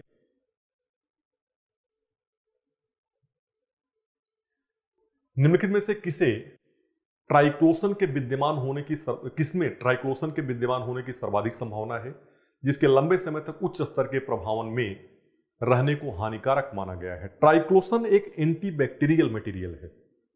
एक केमिकल है जो एंटीबैक्टीरियल मटेरियल है और इसका प्रयोग किया जाता है ऐसे पदार्थों को सुरक्षित रखने के लिए जो बार बार जो है वो ओपन और क्लोज होते रहते हैं। जैसे कि साबुन, जैसे कि टूथपेस्ट, ये सारी चीज़, जैसे कि शैम्पू, इन सब में ट्राइक्लोसन का प्रयोग किया जाता है और खासतौर पर जो एंटीबैक्टीरियल साबुन वगैरह आते हैं, उनमें तो खूब होता है। ट्राइक्लोसन और यह जो है काफ़ी खतरा एंटीबैक्टीरियल है। सबसे ज़्यादा जानते हैं इसकी प्रॉब्लम कहाँ पर है? यह भी एक बहुत बड़ा कारण है जो एंटीबैक्टीरियल रेजिस्टेंस का जो जन्म हो रहा है उसका। एंटीबैक्टीरियल रेजिस्टेंस का मतलब आप समझते होंगे कि जो बैक्टीरिया हैं या जो सूक्ष्म जीवित रोग कारक हैं, उन पर अब एंटीबायोटिक दवाओं का असर नहीं होता। क्यों? क्योंकि थोड़ा थोड़ा खा के इम्यून हो गए हर जगह आपने एंटीबायोटिक फैला रखा है। पशुओं को जो है भर भर के एंटीबायोटिक्स की आप जो है वो इंजेक्शन देते हैं। उनके मिल्क में आ रहा है। ट्राइक्लोसन का प्रयोग जो है शायद ही कोई ऐसी टैलेटरीज हो, शायद ही कोई ऐसी प्रसाधन सामग्री हो जिसमें इसका प्रयोग ना होता हो। खूब प्रयोग होता है इसका। बैक्टीरिया इससे भी इम्यून हो रहा है। वही जो एक कंसेप्ट था ना कि किसी को थोड़ा थोड़ा जहर देते रहे, एक दिन जहर के लिए इम्यून हो जाएगा वो, वही कंसेप्ट है। बैक्टीरिया को हर जगह एंटीबायोटिक मिल रहा है। तो धीरे धीरे करके बैक्टीरिया उस एंटीबायोटिक लिए इम्यून होता जा रहा है। इसकी बाकी सारी प्रॉब्लम तो एक तरफ़ है। ये एक बहुत बड़ी प्रॉब्लम है कि यह भी माइक्रोबियल जो मल्टी ड्रग रेजिस्टेंस है, उसमें यह भी जो है वो एक बहुत बड़ा कारक है। या जो एंटीबायोटिक रेजिस्टेंस जो है जन्म ले रहा है, उसका ये बहुत बड़ा कारक है। ठीक है तो माइक्रोबियल एंटीबायोटिक रेजिस्टेंस का एक बहुत बड़ा कारण जो है वो ट्राइक्लोसन होता है। ये चर्चा का विषय लंबे समय तक रहा था। इस पर 10-15 दिन लगातार मुझे लगता है कि अलग अलग पेपर्स में जो है वो आर्टिकल्स आए थे ट्राइक्लोसन को लेकर कि इसके प्रयोग को जो है किसी भी तरीके से रोका जाना चाहिए। ठीक है? तो कोई भी प्रसाधन सामग्री जो है उन सब में, साबुन में, शैम्पू में टूथपेस्ट में इसको डाला जाता है ताकि वह जल्दी सड़ न जाए।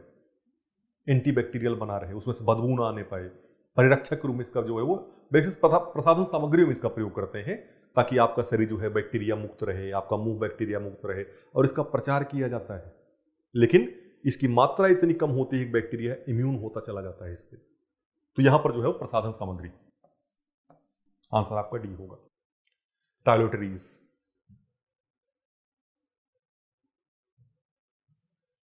खगोलीय दूरियाँ प्रकाश वर्ष में मापे जाने का कारण निम्नलिखित में से कौन सा सही है? ठीक है। खगोलीय दूरियों को प्रकाश वर्ष में मापे जाने के पीछे क्या कारण है? प्रकाश वर्ष है क्या पहले तो? लाइट ईयर एल वाई ये क्या है? प्रकाश वर्ष सीधा सा मतलब होता है कि प्रकाश एक वर्ष में, निर्वात में जितनी दूरी तय करता है, उसी को प्रकाश वर्ष कहते हैं। उसी को जो है वो लाइट ईयर के नाम से जाना जाता है। कितना ये होता है? 9.46 ट्रिलियन किलोमीटर की दूरी होती है। एक साल में प्रकाश निर्वात में इतनी दूरी जो है ट्रेवल कर लेता है यह डिस्टेंस का जो है वो एस्ट्रोनॉमिकल डिस्टेंसेस मापने का जो है एक तरीका है। खगोलीय पिंडों के बीच की जो दूरियाँ होती हैं, उनका जो है एक इकाई है, उनकी एक यूनिट है। आप जानते हैं कि खगोलीय दूरियों को तीन में मापा जाता है एक एस्ट्रोनॉमिकल यूनिट जो सबसे छोटी दूरी होती है। एस्ट्रोनॉमिकल यूनिट आपको पता होगा कि पृथ्वी से लेकर सूर्य तक की जो दूरी है, उसको एक एस्ट्रोनॉमिकल यूनिट कहते हैं। मतलब अगर कहा जाए कि पृथ्वी से फला या एक्स पिंड की दूरी दो एस्ट्रोनॉमिकल यूनिट है, इसका मतलब यह है कि पृथ्वी से उस पिंड की दूरी जो है वो 300 मिलियन किलोमीटर है, क्योंकि यह 150 मिलियन किलोमीटर की दूरी होती है। Astronomical unit. इसको सबसे छोटी दूरी माना जाता है 150 मिलियन किलोमीटर की दूरी एस्ट्रोनॉमिकल। मतलब सूर्य से, पृथ्वी से सूर्य की जो दूरी है, वो 150 मिलियन किलोमीटर है। तो इसको एक यूनिट मान लिया गया कि यह एक एस्ट्रोनॉमिकल यूनिट होगी। यह एक खगोलीय इकाई होगी। तो अगर कहा जा रहा है कि दो खगोलीय इकाई दूरी है तो फिर 300 हो गया। तीन खगोली इस तरीके से जो है वो हम नापते हैं। उसके बाद दूसरी यूनिट आती है ये। ठीक है? लाइट ईयर एक साल में प्रकाश निर्वात में जितनी डिस्टेंस तय करता है, इतनी तय करता है जिसको हम मानते हैं कि तो क्योंकि प्रकाश की चाल जानते हैं। ठीक है? तो यह जो है वो एक लाइट ईयर होता है। एक और भी है पारसेक पारसेक बहुत लंबी दूरी है। 3.26 लाइट ईयर के आसपास ये होता है। 3.26 लाइट ईयर तो सबसे लंबी दूरी मापने का मात्रा कभी फ़िलहाल हमारे पास यही पारसेक है। 3.26 लाइट ईयर ये होता है, वो, ये सारी है। क्यों हम प्रयोग करते हैं? लाइट ईयर का प्रयोग हम क्यों करते हैं? प्रकाश के चाल का प्रयोग क्यों करते हैं? क्योंकि प्रकाश की चाल निर्वात में हमेशा एक समान रहती है। प्रकाश की चाल निर्वात में कभी नहीं बदलती है, इसलिए सबसे बेहतर है कि आप प्रकाश की चाल के आधार पर जो है वो दूरियों का मापन शुरू कर दीजिए। और कोई कारण इसका है ही नहीं। तारकीय पिंडों की दूरियाँ परिवर्तित नहीं होती हैं, ये तो हो ही नहीं सकता। हमारा जो सिस्टम है, जो एस्ट्रोनॉमिकल सिस्टम हमारा है, जो ब्रह्मांडीय प्रणाली हमारी है, वो डायनेमिक प्रणाली है, दूरियाँ घटती बढ़ती रहती हैं, ये तो आप जानते ही हैं। पृथ्वी और सूर्य की ही बात कर लीजिए, कभी पृथ्वी सूर्य के नज़दीक होती है, कभी दूर होती है तो दूरियाँ तो घटती बढ़ती रहती हैं। तारकीय पिंडों का गुरुत्व तो परिवर्तित नहीं होता है आप जानते हैं कि गुरुत्व या गुरुत्वाकर्षण जो है द्रव्यमान पर निर्भर करता है।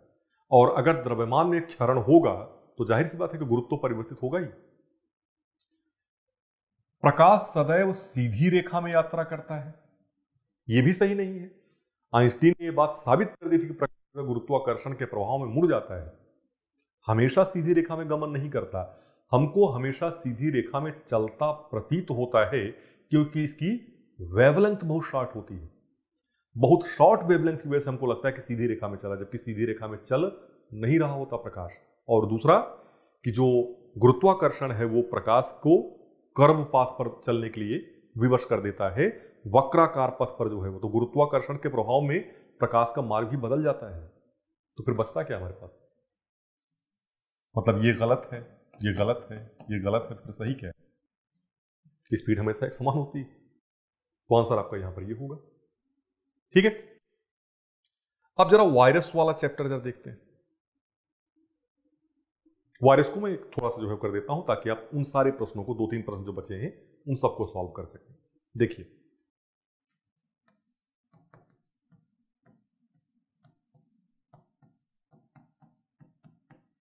वायरस या विषाणु। विषाणु जो है इसको कैसे परिभाषित करते हैं? तो इसको कहते हैं कि यह इन्फेक्सियस संक्रमणशील या संक्रामक अणु है। वायरस जो होता है वो संक्रामक अणु है इन्फेक्सियस मॉलिक्यूल है। ठीक है? वायरस सजीव और निर्जीव, या निर्जीव और सजीव के बीच की कड़ी माना जाता है। मतलब जब तक यह कोशिका के अंदर नहीं है, तब तक यह जो है वो एक मॉलिक्यूल के रूप में होता है। क्या होती है इसकी संरचना जरा देखिए। अगर वायरस की संरचना के बारे में हम बात करें तो इसको हम दो वर्गों में डिवाइड कर सकते हैं। अनिवार्य अवयव और वैकल्पिक अवयव।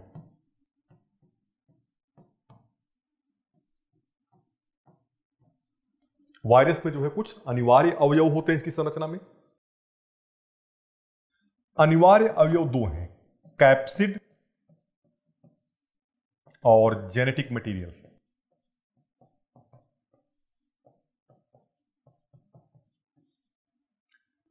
ये जो है वो एनवेलप है। ये वैकल्पिक है।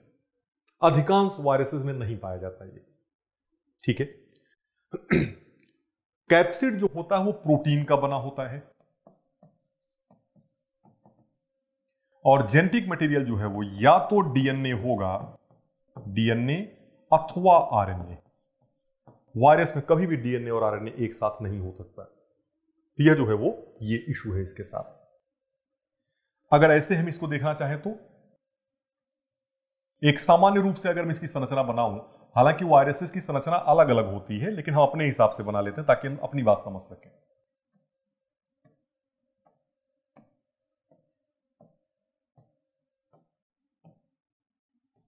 तो यह प्रोटीन की इकाइयों से बनी हुई संरचना है। ऐसी बना लेते हैं। थोड़ा देखने में भी अच्छा लगे।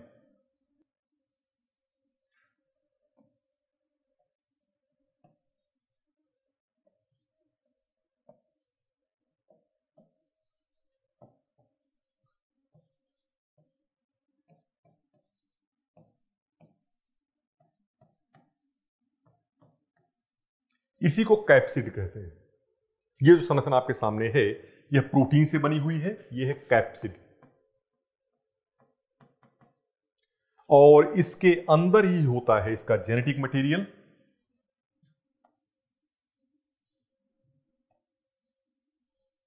डीएनए अथवा आरएनए। कंफ्यूज नहीं होइएगा। दोनों में से कोई एक होगा।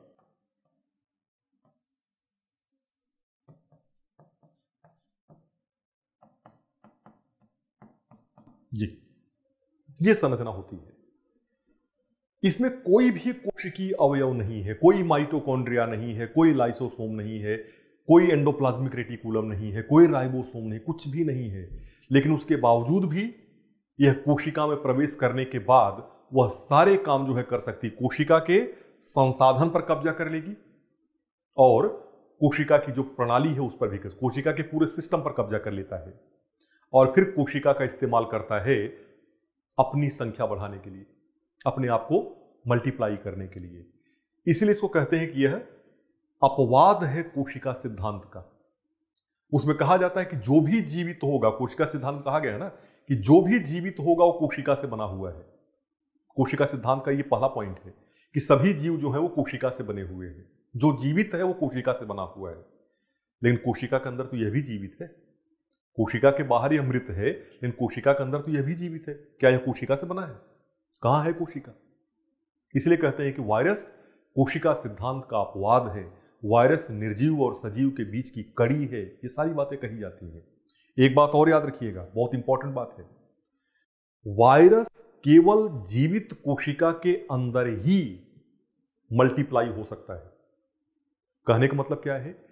कि आपके पास कोई अगर जीवित कोशिका है, कोई बैक्टीरिया है, कोई फंगस है, पौधे की कोशिका है, जंतु की कोशिका है, शैवाल की कोशिका है, अमीबा है, पैरामीशियम है, कुछ भी है, ये जीवित कोशिकाएँ हैं।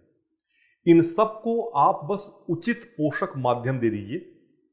प्रयोगशाला में इनमें विभाजन शुरू हो जाएगा। मतलब जो जीवित कोशिकाएँ हैं, बैक्टीरिया से लेकर एनिमल तक, कुछ भी, सारे नाम मैंने ले लिए। उन सबको आप प्रयोगशाला में संश्लेषित कर सकते हैं। लेकिन वायरस को प्रयोगशाला में संश्लेषित नहीं कर सकते, क्योंकि वायरस केवल और केवल जीवित कोशिका के अंदर ही बहुगुणित होता है। इसका मल्टीप्लीकेशन केवल जीवित कोशिका के अंदर ही होता है। कभी भी इसको संश्लेषित माध्यम में प्रयोगशाला में आप बहुगुणित नहीं कर सकते हैं। ये बहुत इंपॉर्टेंट बात, इसको ध्यान रखिएगा। और आपका प्रश्न भी है, अभी वहाँ पर चलते हैं हम लोग। अब इसके जेनेटिक मटेरियल तो ये इसका कैप्सिड हो गया, ये इसका जेनेटिक मटेरियल है। जेनेटिक मटेरियल के आधार पर जो वायरसेस हैं, इनको दो वर्गों में आप डिवाइड कर सकते हैं।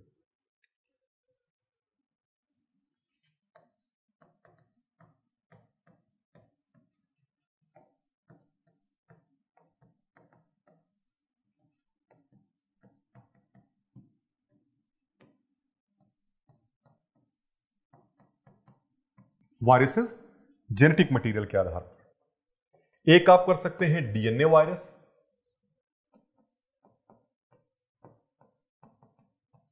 ऐसे वायरस जिनका जेनेटिक मटेरियल डीएनए है। एक आप कर सकते हैं आरएनए वायरस।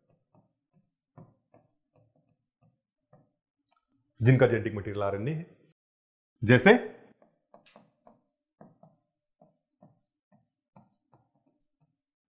Adeno virus. जुकाम होता है इससे। जुकाम पैदा करता है। जैसे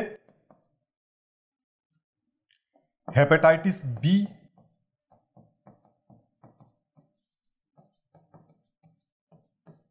इससे लिवर सिरोसिस की प्रॉब्लम पैदा होती है। जैसे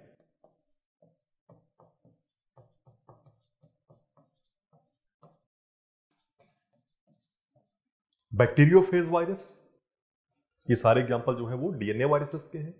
डबल स्टैंडर्ड डीएनए यहाँ पर सिंगल स्टैंडर्ड डबल स्टैंडर्ड दोनों होता है। आरएनए वायरसेस की बात करें रेट्रोवायरस एच सबसे कॉमन एग्जांपल रेट्रोवायरस का है एच अन्य दूसरे एग्जांपल आरएनए वायरसेस के अगर हम लोग ले तो इबोला आरएनए वायरस है पोलियो वायरस आरएनए वायरस है यहाँ पर पैपिलोमा वायरस जो है वो ह्यूमन पैपिलोमा वायरस जिससे पैपिलोमा की प्रॉब्लम होती है डीएनए वायरस है वो, यहाँ पर पोलियो वायरस आरएनए वायरस है कोरोना विरिडी फैमिली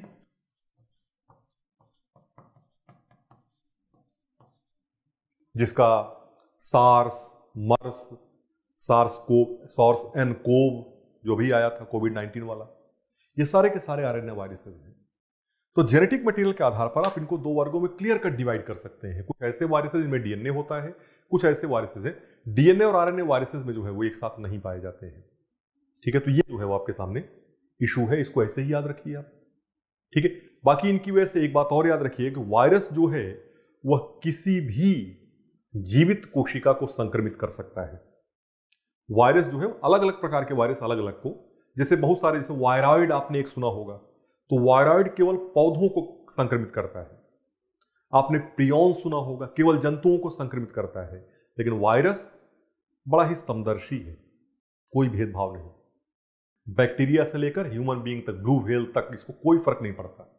वो सबको कर सकता है संक्रमण, किसी को भी जो है इन्फेक्ट कर सकता है और उसको बीमार कर सकता है।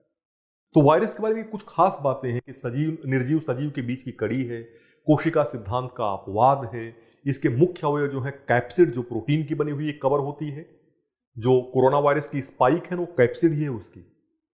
वो फिर जेनेटिक मटेरियल जो कि डीएनए या आरएनए होता है, इसके आधार पर वायरसेस को दो वर्ग में डिवाइड कर सकते हैं। वायरस को संश्लेषित माध्यम में प्रयोगशाला में आप जनरेट नहीं कर सकते हैं, बहुगुणित नहीं करवा सकते आप। ये सारी बातें जो वायरस के बारे में आपको पता होनी सामान्य बातें हैं और वायरस किसी भी जीवित कोशिका को संक्रमित करने की क्षमता भी रखता है। तो जरा देखें। निम्नलिखित पर विचार कीजिए। जीवाणु मतलब bacteria, fungi, virus which of the above can be cultured in artificial synthetic medium उपयुक्त में से किन्हें कृत्रिम संश्लेषित माध्यम में संवर्धित किया जा सकता है। तो क्या वायरस को कर सकते हैं? कभी नहीं कर सकते। अभी तो यही बात कर रहे थे। बाकी दोनों जीवित कोशिकाएँ हैं, चाहे बैक्टीरिया हो, चाहे फंगस हो, चाहे अमीबा हो, चाहे पैरामेशियम हो, चाहे वो शैवाल हो, चाहे वो पौधे की कोशिका हो, चाहे वो जंतु की कोशिका हो, सबको कर सकते हैं आप। तो आंसर आपका क्या होना चाहिए? केवल एक और दो।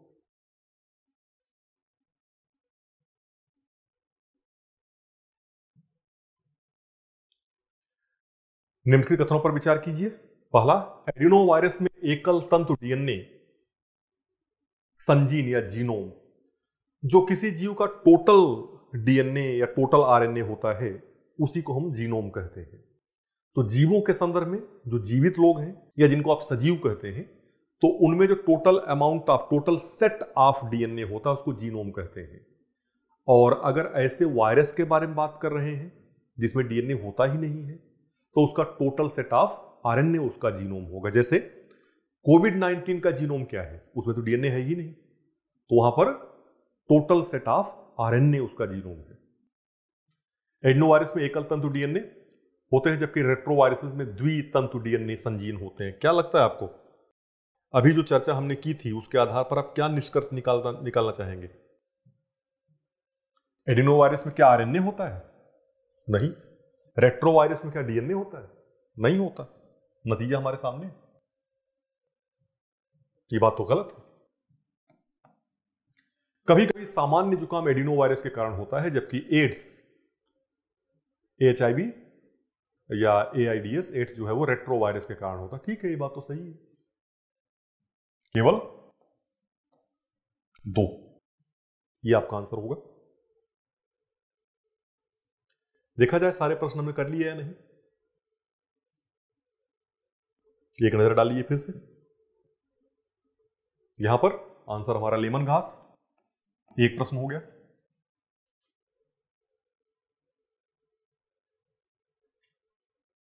दूसरा प्रश्न, ये आंसर हमारा ये है।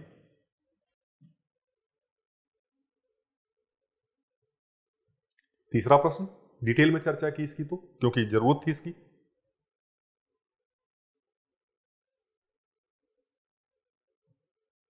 चौथा प्रश्न, बालगार्ड वन, बालगार्ड टू। पांचवा प्रश्न, प्रेशर कुकर। छठा प्रश्न, सातवां प्रश्न, आठवां प्रश्न, नौवां प्रश्न दसवां, ग्यारहवां, बारहवां और तेरहवा। कुल मिलाकर तेरह प्रश्न। तो ये थे आपके प्रश्न और उनके सही उत्तर। उम्मीद करता हूँ कि ये लेक्चर आपके लिए उपयोगी हो।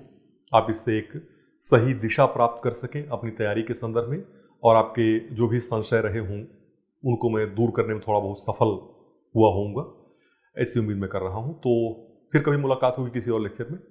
शुभकामनाएँ। धन्यवाद।